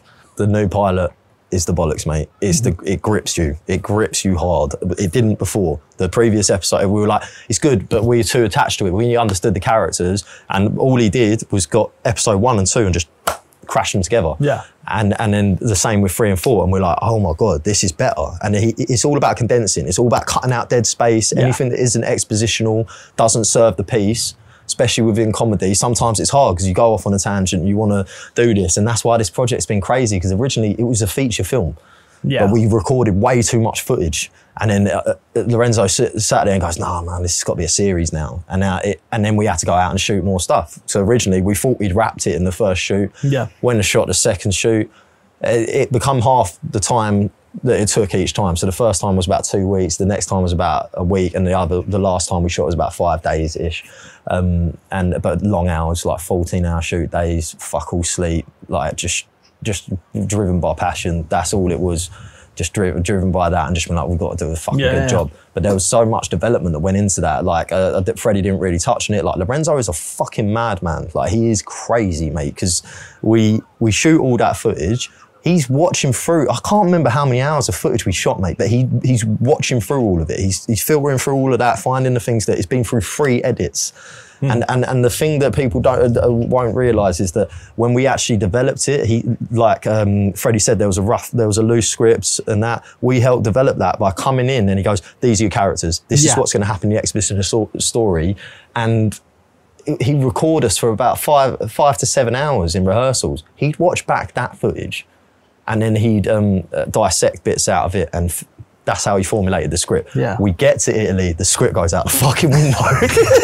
I I you can't make it up, mate. And it was, but it, that's what because we didn't really understand the dynamic of shooting because uh, Freddie touched on it, and Lorenzo would just be in our ears off camera, just going, "Oh, that's fucking brilliant! You gotta do this, do this," and, and and we'd just be like, "Oh shit, yeah, that is." And and the sh- whole shooting started that's what I don't think people are ready for. The way we shoot and the way we've done this, I don't think it's ever been done that way before either. Maybe with TikTokers and shit like that, I don't know, but. It's, it's yeah it was it was wild it was fucking it was a wild. But you like you can't shoot everything like that. It's just like it's very very specific project could be could be done like this. yeah Some things should be written like just word to word. Every kind the of monologues, the monologues stayed the same ish. Like that's that's all I knew. Is like when Lorenzo, he, he, he probably won't watch this anyway. but um, yeah, no. But th- there was an ongoing joke because I stopped learning the script, mate. I stopped learning. I learned my monologues, and then they'd be like, I wouldn't even know what scenes we were shooting by the last shoot. And I'll just be there, and I'll be in character, and I'll be like, all right, and I'll just be tapping Matt on the shoulder and be like, yeah, what we doing? and then he'd be like, don't let Lorenzo hear you. And I was like, I know my monologues, mate. Fuck off. I know the important bit. And uh, because we, it didn't matter, all the other stuff, but it helped with blocking a little bit. But even that will go out the window because we, we'd be like, okay, originally it was meant to be set in this location, but we're in this location now. So it completely changes the whole Yeah. dynamic of the scene. And we shot so much at like, yeah, it's crazy, man. I, remember Freddie said you were swimming in some kind of pond in the park trying to get the I didn't swan want, or whatever. Yeah, I didn't want to get arrested because I was like, oh, I could get done for animal cruelty or something. And I was like, and as I got closer, no, the swan did want to attack me. Like Yeah. I could see it. It was like, and I've heard swans, they're, they're lethal, mate. And I was shitting myself a little bit. I was like, what if he like jabbed my eye? I'm like floating in the water there. I've got this big angry swan here, and I was like, uh, and it had its and it had its babies around him, so it was obviously in protected Yeah, mode. yeah. And I was like, oh, I really didn't think this through. And I was like. Now I just look stupid on camera. And now all the locals are staring. I'm, in, I'm in a fucking pink thong. I'm in a pink thong. And all, all the fucking locals are just looking at me like, this fucking reprobate. Like, what is he doing in our Fucking country? Brits. fucking Brits abroad, mate. I'm acting. I'm not really like that. Fuck yeah, yeah. No, it was wild, mate. Uh, like Freddie said, we got, yeah, we got stopped by police a couple of times. And, um, yeah, we just out there and, and, put, and local restaurants like call it like going we're going to call the police. Mm. What are you lot doing? Because we're just acting like fucking lunatics in public. I loved it. I loved it. I wouldn't change it for the world. It was like Freddie said it, it I think it made us like that stage show recently that's helped make me an, as an actor a bit but healing Andy man was like that was the breakthrough for all of us. That's what told us like because none of us have really been on major major stuff but it made us feel special for a change. It made us feel like I don't even know about important, but powerful. It made us r- r- realize what our strengths were, And that's what Freddie said. We all grew as actors together. Like they hmm. made me realize my strengths. They made me realize my weak points, and vice versa. And then we and we just it was just all about building each other up. It was all about building. The egos had to leave. Um, I had one like one diva moment because I thought something should have been a specific way, but it, it's all been learning curves, man. Like it's all been learning curves, and uh, yeah, it's been a beautiful process. I, lo- I, I love healing Andy. It's going to stay with my heart forever, and I've, I've got genuinely got a feeling like it's gonna. There's probably going to be a sequel and a prequel because the yeah the producers are looking at it now and they, Yeah. they love it, and I'm just waiting, and all the boys we're we're a bit.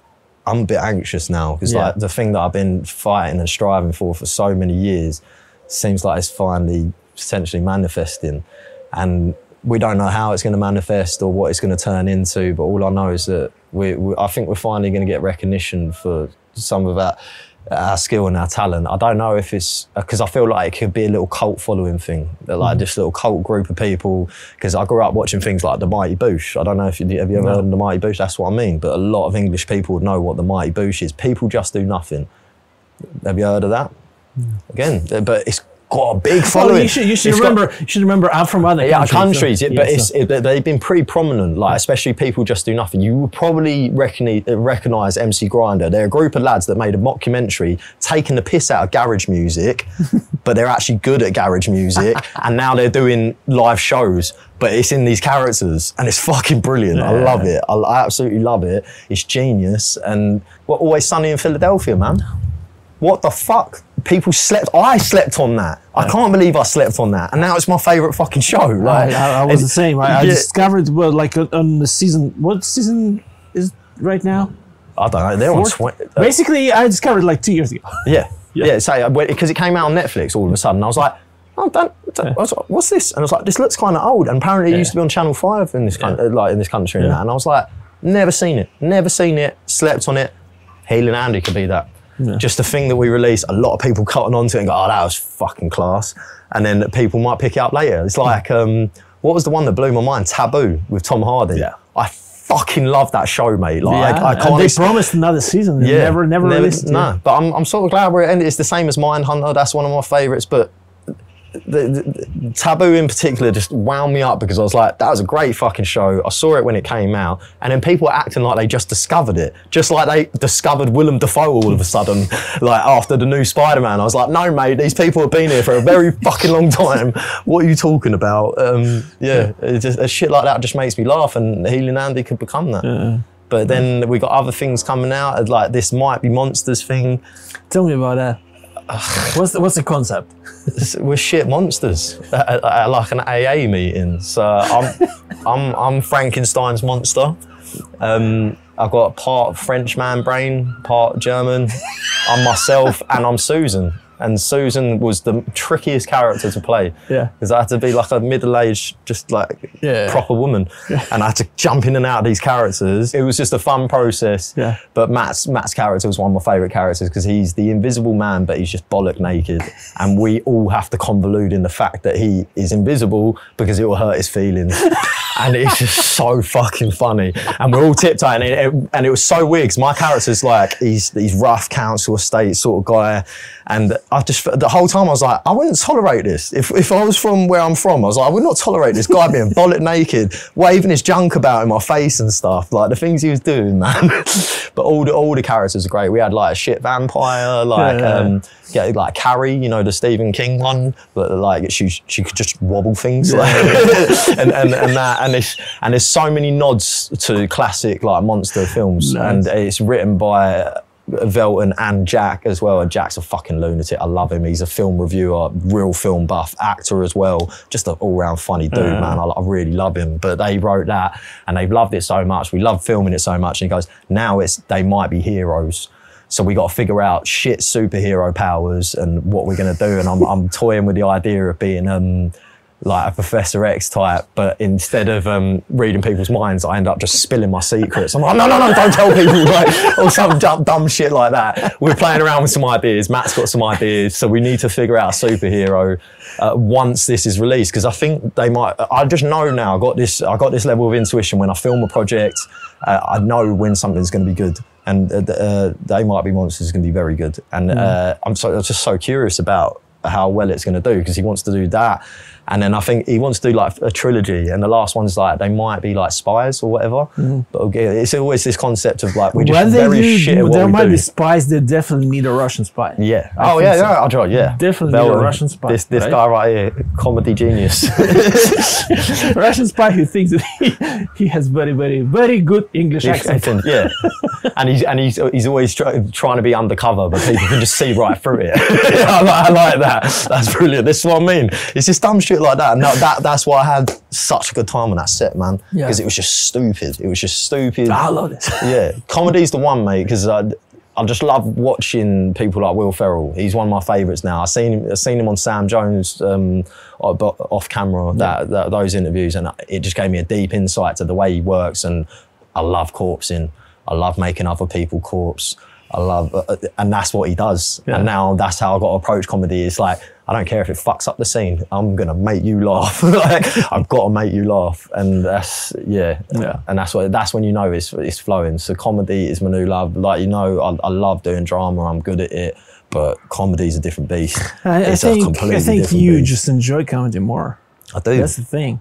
It is. Yeah. It is. But it, I- it's, it, it was very cathartic doing that on stage the other day. Yeah. And it gave me a good feeling when I got off. All the build up, fucking horrible. like, whereas comedy, it's like, it's it's, ang- it's anxious because you're like, oh shit, I got, got it's got to be funny.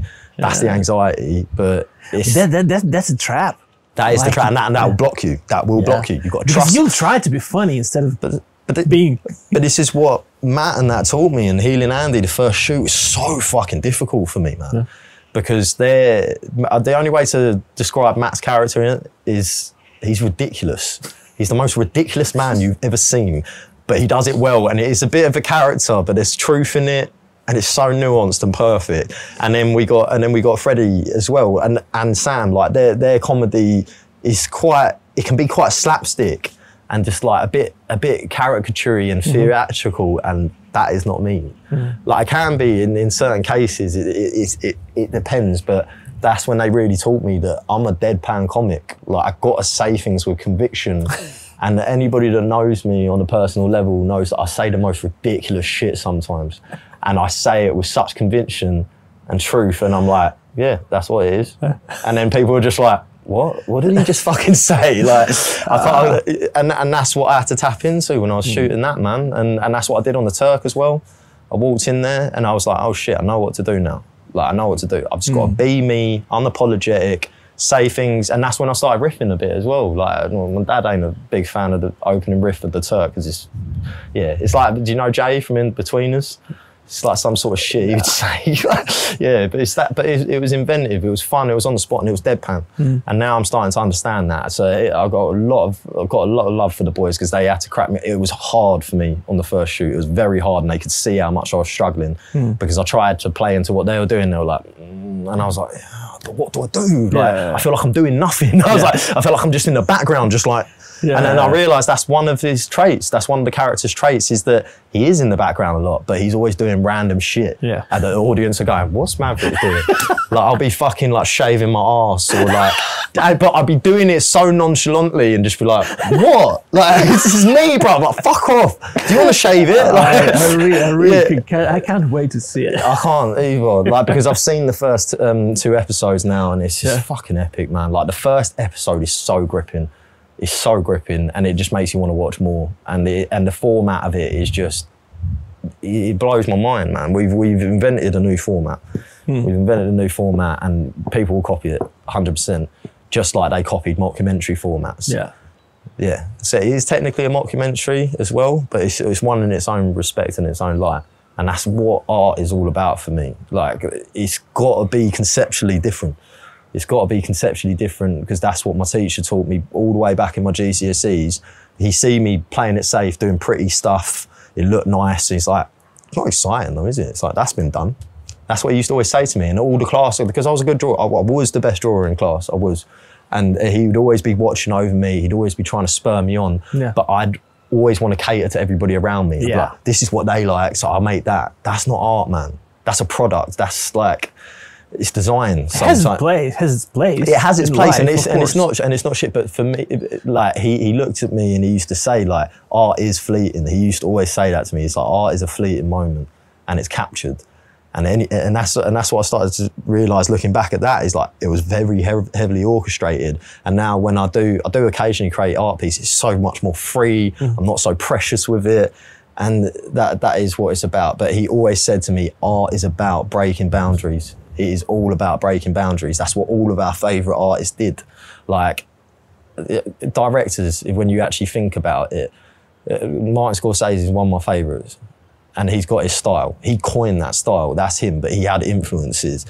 Tarantino coined his style. Wes Anderson, like they, Yeah. they all had their influences, but they did something different. They all tried to go, mm, no, I'm doing this. And it's not everybody's cup of tea, but I like there's, there's certain like, like Yo- Yo- Yorgos Lanthimos, like he's getting bigger and bigger. But when I watched his uh, like earlier works, like The Lobster and that, people just didn't get it, and I'm like, man, this is cool. Like he's doing something different.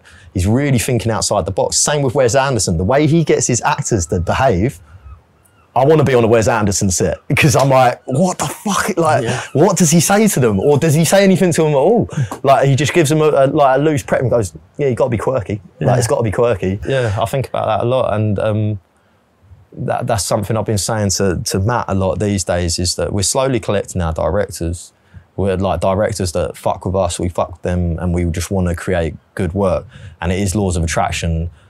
I'm, I'm glad that I haven't had a breakthrough in the industry. I'm hmm. actually glad now, and I'm I'm embracing it for what it is because you find your directors and they find you, and you, we see it in the industry. Certain directors like Christopher Nolan loves working with the same actors, and now like your your Yorgos Lanthimos loves Emma Stone. That's Yeah. it. You, you click, you click. So I feel like me, me and Lorenzo clicked. Um, me and Velton are clicked. I just worked with this um, guy called uh, Matt Chandler, and I really love his work. And and you fuck with each other. You understand. There's a mutual respect, and it's not forced. And I'm finally seeing it for what it is. And I've tried to force too many things in the past, and it weren't right. It weren't right, and I can see it for what it is now. And I'm just one day it would be cool if I could get picked up by one of my favorite directors. That would be cool. It would be fucking awesome, mate. Hmm. That that that would be a dream come true. But I honestly think I'm starting to work with some of the up and coming new hmm. shit hot directors because the people that I work with work with concepts. They, and that's what I want, laws of attraction. Whereas if you go into the industry, the concepts are far and few. People are wanting to play it safe. It's all about the money and what they can make, like money wise, and it's got to be safe. And I, I don't agree with that because I want to be an artist, and that feels limited. And but at the same time, we want those breaks because it gives us a bit more recognition, a bit more exposure, and it makes things a little bit easier. But if we if we can get that recognition through an independent project like Healing Andy, then fuck it, we've done it, man. We've done it. Hmm. We've done it like Ben Stiller did it, like Seth Rogen, like all, all these greats, man. Like they just fucking wedged Yeah. their way in. They just got in and they said, "Fuck you, doors open now." like everybody's look at me, like it's uh, and, that, uh, and that's it. Yeah. And once you're there, that's it. The, the ball's in your court, mate. And that's the problem with. Uh, a, I, I just feel like a lot of these studios are lacking imagination these days. I see. I see this recently. They want to remake American Psycho. Nah, mate. They'll talk about Shaun of the Dead, remaking Shaun of the Dead. Are you fucking stupid, mate? Then talk about remaking Scarface, the ultimate, the original rise and fall gangster film. You want to remake that? Like, nah, man, get some fucking ideas. We're sitting on some great ideas. People like me and you, Matt.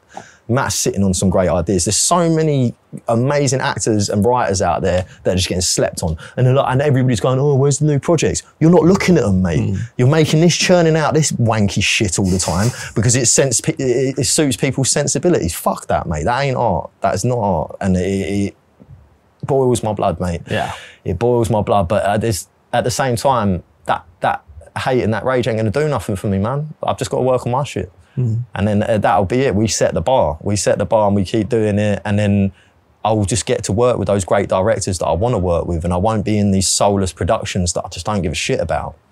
It's a, yeah, Yeah. That sounds good, man. yeah. Who are your biggest inspirations right now in the acting world? It's always been Viggo Mortensen, man. He's been a big, he's been a big inspiration in my life. But I don't know, man. I go through phases. I, I love Denzel. I love Denzel so much. Um, I, I rewatched Training Day the other day. Fuck me, man. I just like some of my favorite actors are the anti-heroes. That's all I've realised recently. There's some of my favorite roles I've ever seen, like Pat, like Patrick Bateman or like. Um, yeah, Denzel Washington in Training Day. There's certain things that just stood out. and Viggo's so good at that. Good Yeah. at playing the light and the dark. Um, I don't know, man. Like Robert Pattinson's growing on me a lot. There's so many, man. I don't have a favorite. Mm. I don't really. I, I do lean towards Viggo a lot because he just he's inspired me a lot. Yeah. I just love his style and what he does. And just in general like he, he's because I, I i actually thought about it just a few days ago i felt like how fucking good is viggo because he is an amazing actor but also he's he seems like a, to be like a great nice human being just like apparently he's very intense though. yeah And I, I'm an intense person, man. I think me and him would get on. I don't know, but then he might not like me. I don't know. I don't know. yeah That's a weird thing about your peers, man. Like, and and your uh, the people you idolise, isn't it? Some of your idols could be absolute bellends, and, you're, and you're not not even sure. But yeah, Viggo Viggo's the bollocks, man. He's the truth. You can't deny him, and that's all Yeah. I look at as actors. And that's what um, Joe Rogan said to a lot of his comic pals, and I, I, it just resonates with me so much. It's just be undeniable. it's like you know there, there is a lot of um, arguing right now like you know when someone plays some you know different ethnicity or like different whatever and like there's a lot of people who are like really unhappy about it when viggo played italian guy no one said shit, Shit. because he was just amazing Yeah, he was like bollocks. no no questions Yeah, it's the same as when I see Matt do an accent. It, it, it might piss off as a, a Scotsman and that, but it'd be like, mate, he's good. He convinced one of the guys on set because he goes, "You Scottish?" And he goes, "No." He did his own accent. He goes, "Fuck me!" It's like my family's Scottish and that. He's like, "Bruv, that's good," and that's what I mean. And that's that's what and that's what it is. And yeah, Viggo is definitely a testament to that. And I try and not watch that because that's what acting is. It's like turning around. I- I'm trying to think of um, certain films. It's like um, Robert De Niro playing someone with Parkinson's. He had to do that. Like only they couldn't have got somebody in with Parkinson's to do that because it just wouldn't have worked because he had to play two different. He had to play himself and then the, the mm. character with Parkinson's. So it's like certain levels to this. I'm like, yeah, get the real authentic people in, but I'm not going to get butthurt if you get a northerner coming down to play a southerner. I'd be like, he's a good actor. Mm. Like a lot of the time, it is the case. They're good actors, mm. and it's got you just got to leave them to it, man. And I, and I don't want to be judged in that respect. I already have been judged in that respect a few times, and it's it's a weird feeling. I'm like. And this whole thing, and uh, Bill Burr's one of my favourite comedians, and he does a whole bit on this. He goes, "It's called acting, like it's, it's fucking what it is. We're pretending to be something else, funny enough. Like, but now everybody's getting typecasted in that, man. It's good. I, and I get it. I, I understand. I get typecasted, but and I do get typecasted a lot, man. And I'd I'm- love to I'm- be typecast. I'd love I'm- to be cast in general because honestly, it's just it's, th- this year it's it's ridiculous. Like in last year as well. Like last three four years were awful. In this case, it's just like But I nothing. think I feel like Eastern Europeans get a short short straw in it, like because it's it's hard, it's hard, and uh, like that's why I've got so much respect for Freddie, man. Like, and you, you're in a you're in a different country acting in a foreign language. I can't do that yet. I don't. I don't even know if I can. I will, will ever do that. I don't. I don't know, man. It's a. It's a weird one, isn't it? Because you know, I don't know. Maybe one day I'll try and learn language and perform uh, perform a piece. I don't. from from what I've my experience, like first of all, most of the actors who are not Russian speakers or like I don't know, like not from Eastern European bloc, who try to do say something in Russian in films. I usually can barely understand what you're saying. It's just it's it doesn't work. Uh, the only one I forgot his name. Uh, this actor he was playing in Sacrificing a Pawn, I think. And he was playing this Russian grandmaster. And apparently he actually learned Russian for this role. And he can speak it now. Uh, and he has like a few conversations in, in the film and he speaks Russian and you can hear a very strong accent. You do. You do hear a very strong accent, but he, I can actually understand him. He actually can speak the language. So I'm not sure how, how needed this is because most of the time, uh, you would be still dubbed over in the country that the, the, the, language you're trying to use, like as a, you know, as a British Yeah, and actor. now I- I've seen this new AI software, and I don't know how to feel about it because I sent it, I sent it through to like Matt and that, and, I- and he was like, no, no, no, because he hates anything that takes away jobs from people, and I'm like, I agree with you on that on that front, but at the same time, like this new AI dubbing is better than the current dubbing yeah. Because they're actually mimicking the lips, everything, and the and the voice. Yeah. Eh, they haven't got another actor. Yeah, but it's taking the works away from the actor. But it's like, but it's bringing more truth to the piece, and that's yes, what I I think more, I think it actually brings more tr- like more the, of the original. Yeah, the- and, yeah. and it makes it more gripping. But then that's when it gets a bit weird because then it's like I don't ever want to watch a fully AI generated film. I like, understand. I don't think I do. I don't mind aspects of it being implanted in. Yeah. But yeah, it's just, it's a strange it's a strange time we're living in, and that's why I've gone back to the stage and independent stuff more because I'm like. Uh, Mark Ruffalo talked about it. Then Matt was in my ear about it. He goes, "Well, no, we got to stick to independent." And I was like, "Yeah, we do," because it is actually what I believe in, and it and it keeps the power with, within us. And mm. that's the problem with these big studios, man. They've got too many outside influences and stuff mm. fucking things up. And yeah, but uh, that's where where all the money is. That's the thing. Like, it's it's better to be to try to be in both worlds because one like being successful in you know in the corporate part in like in the studio part gives you more opportunities to do something on like independent mm. and bring more people into it and money as well so mm. yeah no, hundred percent. But I, I, I do. Uh, it's, it's it's a weird topic that the whole. I don't know. Yeah, I don't. I don't feel a certain way about um, foreigners doing acting work in England. Mm. Like I don't, I don't give a shit about it really. And as long as people are talented mm. and doing what they love, that's all. That's all I care about.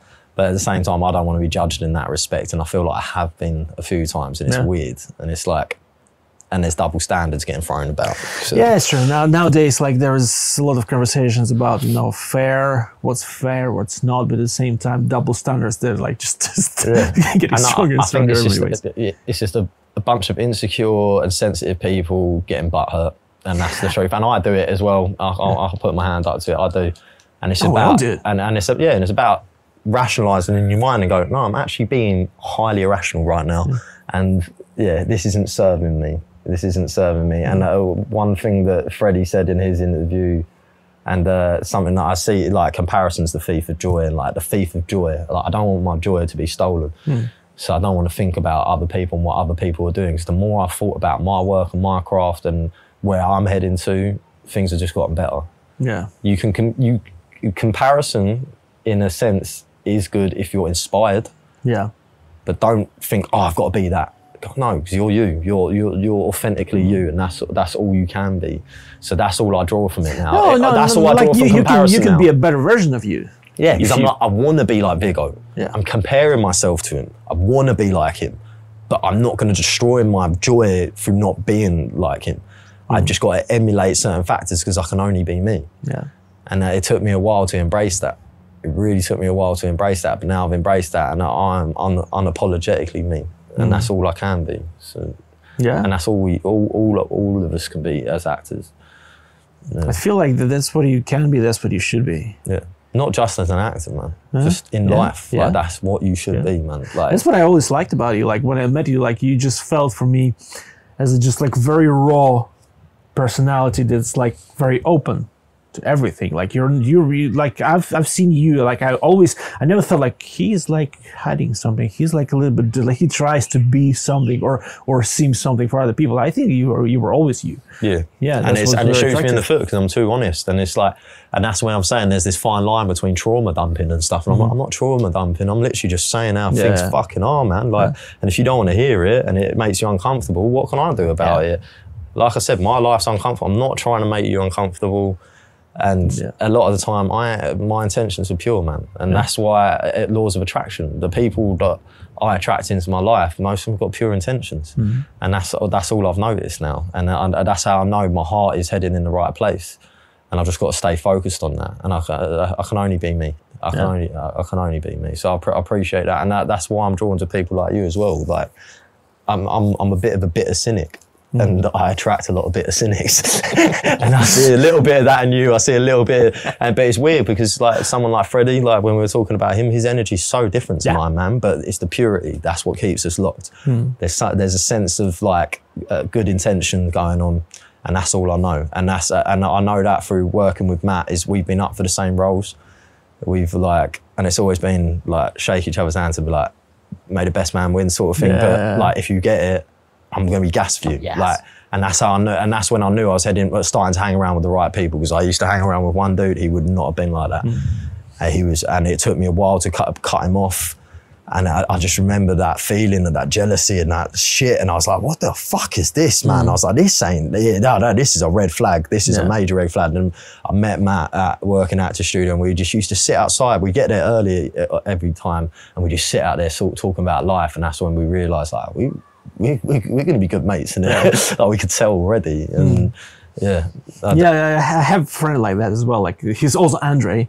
Uh, he's also an actor, but he's more experienced than me. So we very often, like he's a Russian-speaking guy. Very often we get like we go for the same roles. Like we audition for the same roles, and every time we're like, "Did you get it?" Like, "Yeah, yeah, I it." So yeah, Yeah. good luck. And every time I think like, of course, of course, I would I would want to be cast, but like if he gets the role and if it's not me. It's better him than somebody else. Like, and we always kind of chat about, it, like, and we kind of, Yeah. and we always try to help help each other. Yeah, He- no. because he grew up in Italy. He's from Moldova. He grew up in Italy. His Russian not as good as mine. So like very often when we get the the sides for self tapes, we have to translate it ourselves. Yeah. So he like he calls me like, can you just help me with this one? Like and, and just yesterday he also called me like he's like I have a guy for your podcast. Like it- just try to help out Yeah. uh, all the time because it's, it's like it's so much more productive. some actors in certain situations would actually try and sabotage you, which I just think is bizarre, man. I just think it's the maddest. It is, it is, and it's, it's weird. But it's like what you say. If I'm up for the same role with somebody, I have I've had it with my mate Ray as well. We were both busy though; mm. it just clashed. But we were both going up for a sick role as well, and I was like, we both really want it. I was like, I'll self tape with you, mate. Yeah. and I will do a good job for you, Yeah. like because I want to see you succeed or me succeed. Vice versa. You get, it's, it's it's the karma, man. It's like I'm not I'm not very that spiritual or religious, but it's like the energy you put out is what you're going to receive back. Yeah. Yeah. I agree with that. Yeah. And, and that, that's why it's important. And I think that's that's why I'm drawn to people like you, man. Because like I just know there's we just want to see each other succeed. Yeah. That's all I care about. I just want to see my friends succeed, and I don't care if they get there before me, and I don't care if I don't get there. And Yeah. yeah. But the way things are moving right now, it seems like we're all going there together.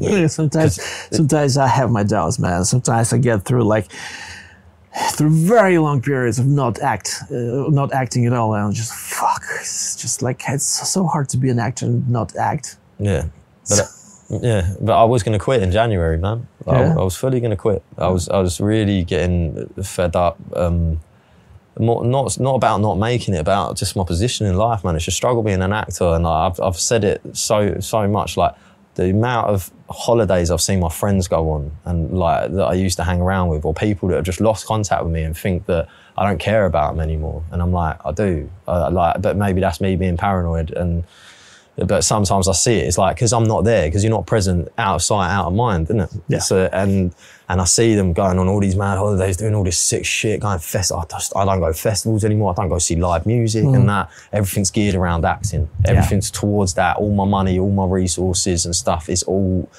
It goes towards that. It, it all goes towards that, and I'm I'm getting tired of it, man. Because like, I, I need, as an actor, you need to experience things in life, and I experience. That's why I, I'm quite good at what I do, is because I've been through a lot. I've seen a lot. I've lived a lot of lives, and that's what a lot of people see me. When they mm. meet me, they go, "You you've lived a lot of lives," and I'm like, "Yeah." And I, but now I feel like I've been stagnant for so long. And I don't feel alive, man. And I need to feel alive. And I need I need to experience those things in order to get further in what I'm doing. So again, it's towards the acting, but I need this this break. And my dad my dad's not well, and, and stuff like that. And it's just that's weighing on me. Like that's weighing on me. And I and I promised myself that I was going to quit. I, I promised myself I was going to quit. And the day that I quit, I, all of a sudden I got feedback for this audition that I did. It was a big audition with um, with Nick Love. He's one of my favourite directors, and uh, it was sick because I got his recognition and that. And that's when I finally knew that I was heading in the right direction. But there was a part of me that was like, I'm just getting fed up with this lifestyle, man. It's it's weighing me down. And then the moment I was going to back out of it, that's when we got They Might Be Monsters is happening. And Matt's like get to your fucking arse in gear son. Like move it. And I was like oh fuck's sake. Next thing I know I've got um, Rosie telling me oh yeah we're in like Riverside Studios and that and all these call-ins and that was the weird thing. No Matt because I wanted to get out all of the good work that I've previously done and all the good impressions I've made and, and, and all the connections I've made are coming back. And they, they they all started hitting me up. And I was like fuck. And it was all the directors that I want to work with I've been waiting to work with again and they'd turn around to me and it's I didn't even say anything to any of them. It's just mm. weird how it's come along. So I promised myself we're doing the Fringe Festival in Camden next month and then uh, I'm going to shoot this blood debt and then I need a break man but sod's law is that something else is going to pop up but it was so weird because I really wanted to quit but it was because that dry everybody went through the dry spell of the strike but us lot were still working because we were doing Healing Andy and I still did a stage show and stuff Yeah. so I kept my brain active, and that's all I'll say to you, brother. Is if if the, the lack of acting's upsetting you, then you you gotta you gotta find something because just go do something acting related and it's Well, hard I'm doing this shit. this, and I was, I was gonna say you're doing you're doing this, but it's it's yeah because I've read uh, I've read a couple of your scripts before um, the the series you was writing the sci-fi and that. And um, yeah, I think that's that's something you should maybe delve back into like more. Is that you you are you are a good writer and you should explore it some more. And uh, that's what that's all that me and Matt have been doing, and that's all all um, other people around us have been doing. Is yeah, we just creating projects independent. I've just been voice noting somebody, and she she said the same thing, and she's like a, a, a, pretty much a working actor in the industry and stuff, and uh, she's saying, yeah, the stuff, the indie stuff's better, man. Look, what's next for you, man? Just that. I I say I, I say I wanna I wanna break, but um, I think me, uh, me and my, me and my old man just need to go on a holiday, enjoy the time that we got left together and stuff, and um, that's that's one of my main intentions at the moment. I just want to get. I'm, I'm gonna smash the back doors out of that Western. Like I will do a Yeah. sick job, and that's hopefully going to lead to more things. So I'm, ne- I'm never going to quit acting. I sat down and had a really intense chat with my dad about it the other night, and I was just like, I'm just at a place, I'm just at this weird impasse, and I know uh, I'm, I'm I'm professional what I do, but there's still so much work to be done.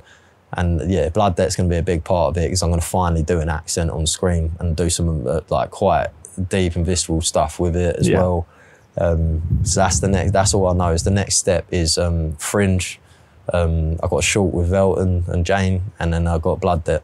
But I don't know what's going to happen. My agent could turn around with some fucking audition. I land that. I don't know. But I, I try not to think about that. All I think about now is the present, Yeah. and that's that's all that's helping me. And the presence is key, not just for acting, just life. Like you've got to be present, and that's what I'm working on because I'm still not there, man. You you must be the same. Like your head might go somewhere else Yeah. and it's just staying focused. But that's that's the, the next thing for me is um, learning to be alone, learning to be at peace in my own company, and just become more disciplined.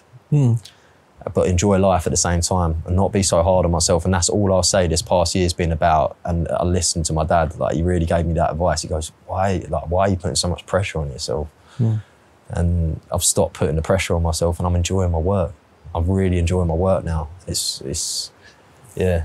I've, I've been through so many cycles and transitions of life of what I want to be, but this one seems to have just stuck, man. It Yeah. just ain't going. Like I can't get out of it, and yeah, it's a weird one. All right, now blitz round. You ready? Very quick questions, quick answers. Yeah, All right. Texting or talking? talking, man.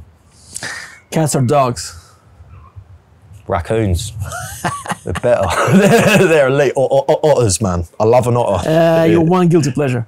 Stimulation, What makes you laugh? dark, uncomfortable stuff sometimes. Yeah, I'd say dark comedy is one of that's that's uh, All right. that's my forte. What makes you angry? Everything. a lot of things, man. A lot of things trigger me. Um, yeah, I can't driving in particular. I'm going to start writing a film about road rage and uh, the different perspectives of it. Nice. Because uh, yeah, yeah, I, that's one that's prevalent. I, I jumped out of my car the other day and nearly Yeah. kick someone's head in. It was mental, mate. Like, it, but that's it's, it's a, it does something to you, man. Like I lost my brother in a car accident, so it's very primal thing for me. Um, and that when your life's at risk like that, it just I don't I, s- I don't think rationally. And Yeah. I'd say that's one thing that really gets me angry. Driving, probably the number one thing that gets me angry and pissed off. Uh, do you have any nicknames? I've been called Hogman because I spent uh, months on end just k-holing on the floor, snoring, grunting, and like. uh, Matt calls me the Goblin. I'm, I'm the Goblin, or like I'm just a little creature. Like I don't know, man. Is there a dish that you cook Dish. best? I'll, I'll make a mean carbonara, but it's not traditional style. Uh, yeah, that's sort of, that's one of my fortes, I guess. Uh, your favorite character in any fictional story, book, video game, I series? touched on it earlier, the anti-heroes, man, like the Patrick Batemans. I don't know what um, Denzel Washington's character's name in Training Day. That's the Yeah. bollocks. So these guys that can make you love them, like um, James Gandolfini, Tony, Tony Soprano. Yeah, there's certain characters, and I'm like, this, they're so jaded and flawed, Hmm. and that's a real human being. Like a real human being has so many flaws. Yeah. and I can't stand heroes normally. I look at them like you're too clean cut. You're not real. What do you prefer, Star Wars or The Lord of the Rings? Oh, bro, I've grew up on both, man. I, Yeah. grew, I grew up on both, but Gollum used to scare the shit out of me. I'm more Star Wars. I'd say I'm more Star Wars because I'm more sci-fi. Sci- Yeah. I love science. Um, yeah, that's a tough one, man. But I'd say, like, if, if you ask my daddy, he'd say Star Wars. I had the lightsabers and shit. Yeah. But as I've grown older, I'm, I think I prefer Lord of the Rings. I prefer The Hobbit to Lord of the Rings, and a lot of people don't like me saying that. I really enjoyed the Hobbit series. It's one of my favourites. I like it. Yeah, Like it, yeah, yeah. Uh, do you have any unknown or unexpected talents? Well, it- it- I don't do it now, but I always tell people I used to play the violin when I was little. And I, I, I got, a, yeah, I got, I got a lot of love for classical music, and uh, the reason I got into that was because um, we, um, my stepmom's uh, best friend was uh, the harpist with the Hungarian orchestra, and her husband was the lead violinist. And when you hear a lead violinist play a violin in the flesh, this close to you, it'll break your soul, mate Yeah. it'll do something to you. And that was, uh, yeah, that was it was a weird one because I got I used to get bullied for it a little bit and shit because it's it, it was different. It was different, but Yeah. there's something about that. But yeah, that's it's not a talent anymore though because I don't do it anymore. But I mm. reckon if I picked it back up, I'll I'll pick it up. Yeah. like yeah, How often do you cry? every day, man. Yeah. No lie, no lie. The stuff we were talking about earlier, but sometimes it's not. It's not from me. Like I'll be looking at something. Yeah. I allow myself to cry every single day. That's one thing that I've, I've told my acting pals. It's, uh, it's something that I believe as a practice um, because it. I don't know. I don't know if I've got control over my tear ducts now, but I think I'm getting co- more control over them. I can flare them up. I can do something to them, but I need a trigger. And I've got folders of uh, stuff. I've got folders of things for tears, like songs, clips, things that will move me. But I get moved on a daily basis, sometimes by my own subjective thoughts about what I'm going through. But a lot of the time, like I got a friend that's in a debilitated state, my mate Jack, and uh, I listen to his music. He's a musician, and I listen to his music, and that makes me cry, man. And when I think about, I'm nearly crying thinking about him right now. 'cause mm. He's just a good guy, and that's that's. A, a, I'd say the main reason I cry every day is empathy. Yeah. You've got to be empathetic to feel something. Yeah. How can people reach you if they want to work with you? Uh, my main thing is uh, social media. That's my main. Uh, I'm addicted, man. like anyone who knows me knows that I'm on Instagram a lot. I'm not always posting. Like I'm, I'm consuming stuff, and, uh, and and it's not doom scrolling anymore. Like it's doing a lot of good for me, man. And I'm I'm making some good networks. So yeah, Arc25, ARC25 on Instagram. Um, that's You'll probably find it in the description. yeah, that's one of my um, uh, yeah, that's my one of my main outlets. Like network wise, so that's probably the best way to reach me and work with me. And it's it's, it's where I showcase my work, man. Yeah. Nice. And the last thing, there is a segment called One Cool Thing. It's something that you really enjoy and you think that viewers, our viewers or listeners should try it too. Yeah, I wanted to be a scientist. I don't even want to be an actor. I genuinely, genuinely did. I, did. I was studying science before I got my first modelling contract, but then it was too demanding, man. I couldn't learn. This is why I couldn't learn lines because I was doing intense coursework, man. I was doing very intense coursework and learning a lot of stuff, and like it was fucking hard. And I had to make a decision. I miss science so much every day. It- the, the the sense of strength and power you get from knowledge like looking over at a tree over there and understanding the exact chemical composure of the leaves and why they trigger and I know why my heart beats and mm-hmm. stuff like it, when I think about stuff like that it Any It- particular sources where simple folk like me who don't know shit could consume science? Crash Course Crash Course is the fucking bollocks, mate. I love it. I started wa- rewatching it again the other day. It doesn't just cover science; they cover everything, like psychology and that. It's got cool little animations and that. Hank Green is the fucking boy, mate, and and his brother as well, Rob Green. Um, they're they're brilliant. They're so good. And I started rewatching them. Khan's Academy. Which has actually been recognised now by the, um, uh, but it, it got recognised by Barack Obama, and uh, I was actually battling with my course leaders because they wanted references. And I, I was like, I literally just watch YouTube. And I said, Is my coursework all correct? And they went, Yeah. And I went, That's all YouTube. Yeah. That's all YouTube because I'm, I'm a tactile and physical learner. I hate reading books. I hate reading books, and yeah, Khan's Academy's one, and the Organic Chemist. Those three channels, yeah, Organic Chemist, Khan's Academy, Crash Course. If you want to learn anything science related, it's the bollocks. It's interactive. Check it out. Yeah, Khan's Academy and the Organic Chemist is similar because it's almost like a, a blackboard presentation as they're talking, but the, the diagrams and everything is so easy to digest and it helps you understand things so much easier. But Crash Course is just fun. it's, a, it's a fun little Hmm. thing. It- yeah, yeah. Nice. Got a lot of respect for them guys. All right, man. Look, thank you so much. Yeah. It's like I don't think we ever we ever sat down like this and had a conversation for two hours. Nah, but we talk deep, man. We talk deep on many occasions, and this, this this bit felt very strange for me because I, I love conversation, and the key to conversation is listening to somebody else and and hearing what they've got to say. And this has been very one-sided and strange for me. But at the same time, it's like it strokes the ego a little bit, doesn't it? a little bit, and you go, oh, I finally get to talk about myself. Why me. Thanks, Yeah. Well, yeah, I really enjoyed it, man. Thank you so much. no, same, same. Right. Okay, if you enjoyed it, like, subscribe, uh, share your opinions on everything that we discussed in the comments, and see you next time. Uh-huh. Big love.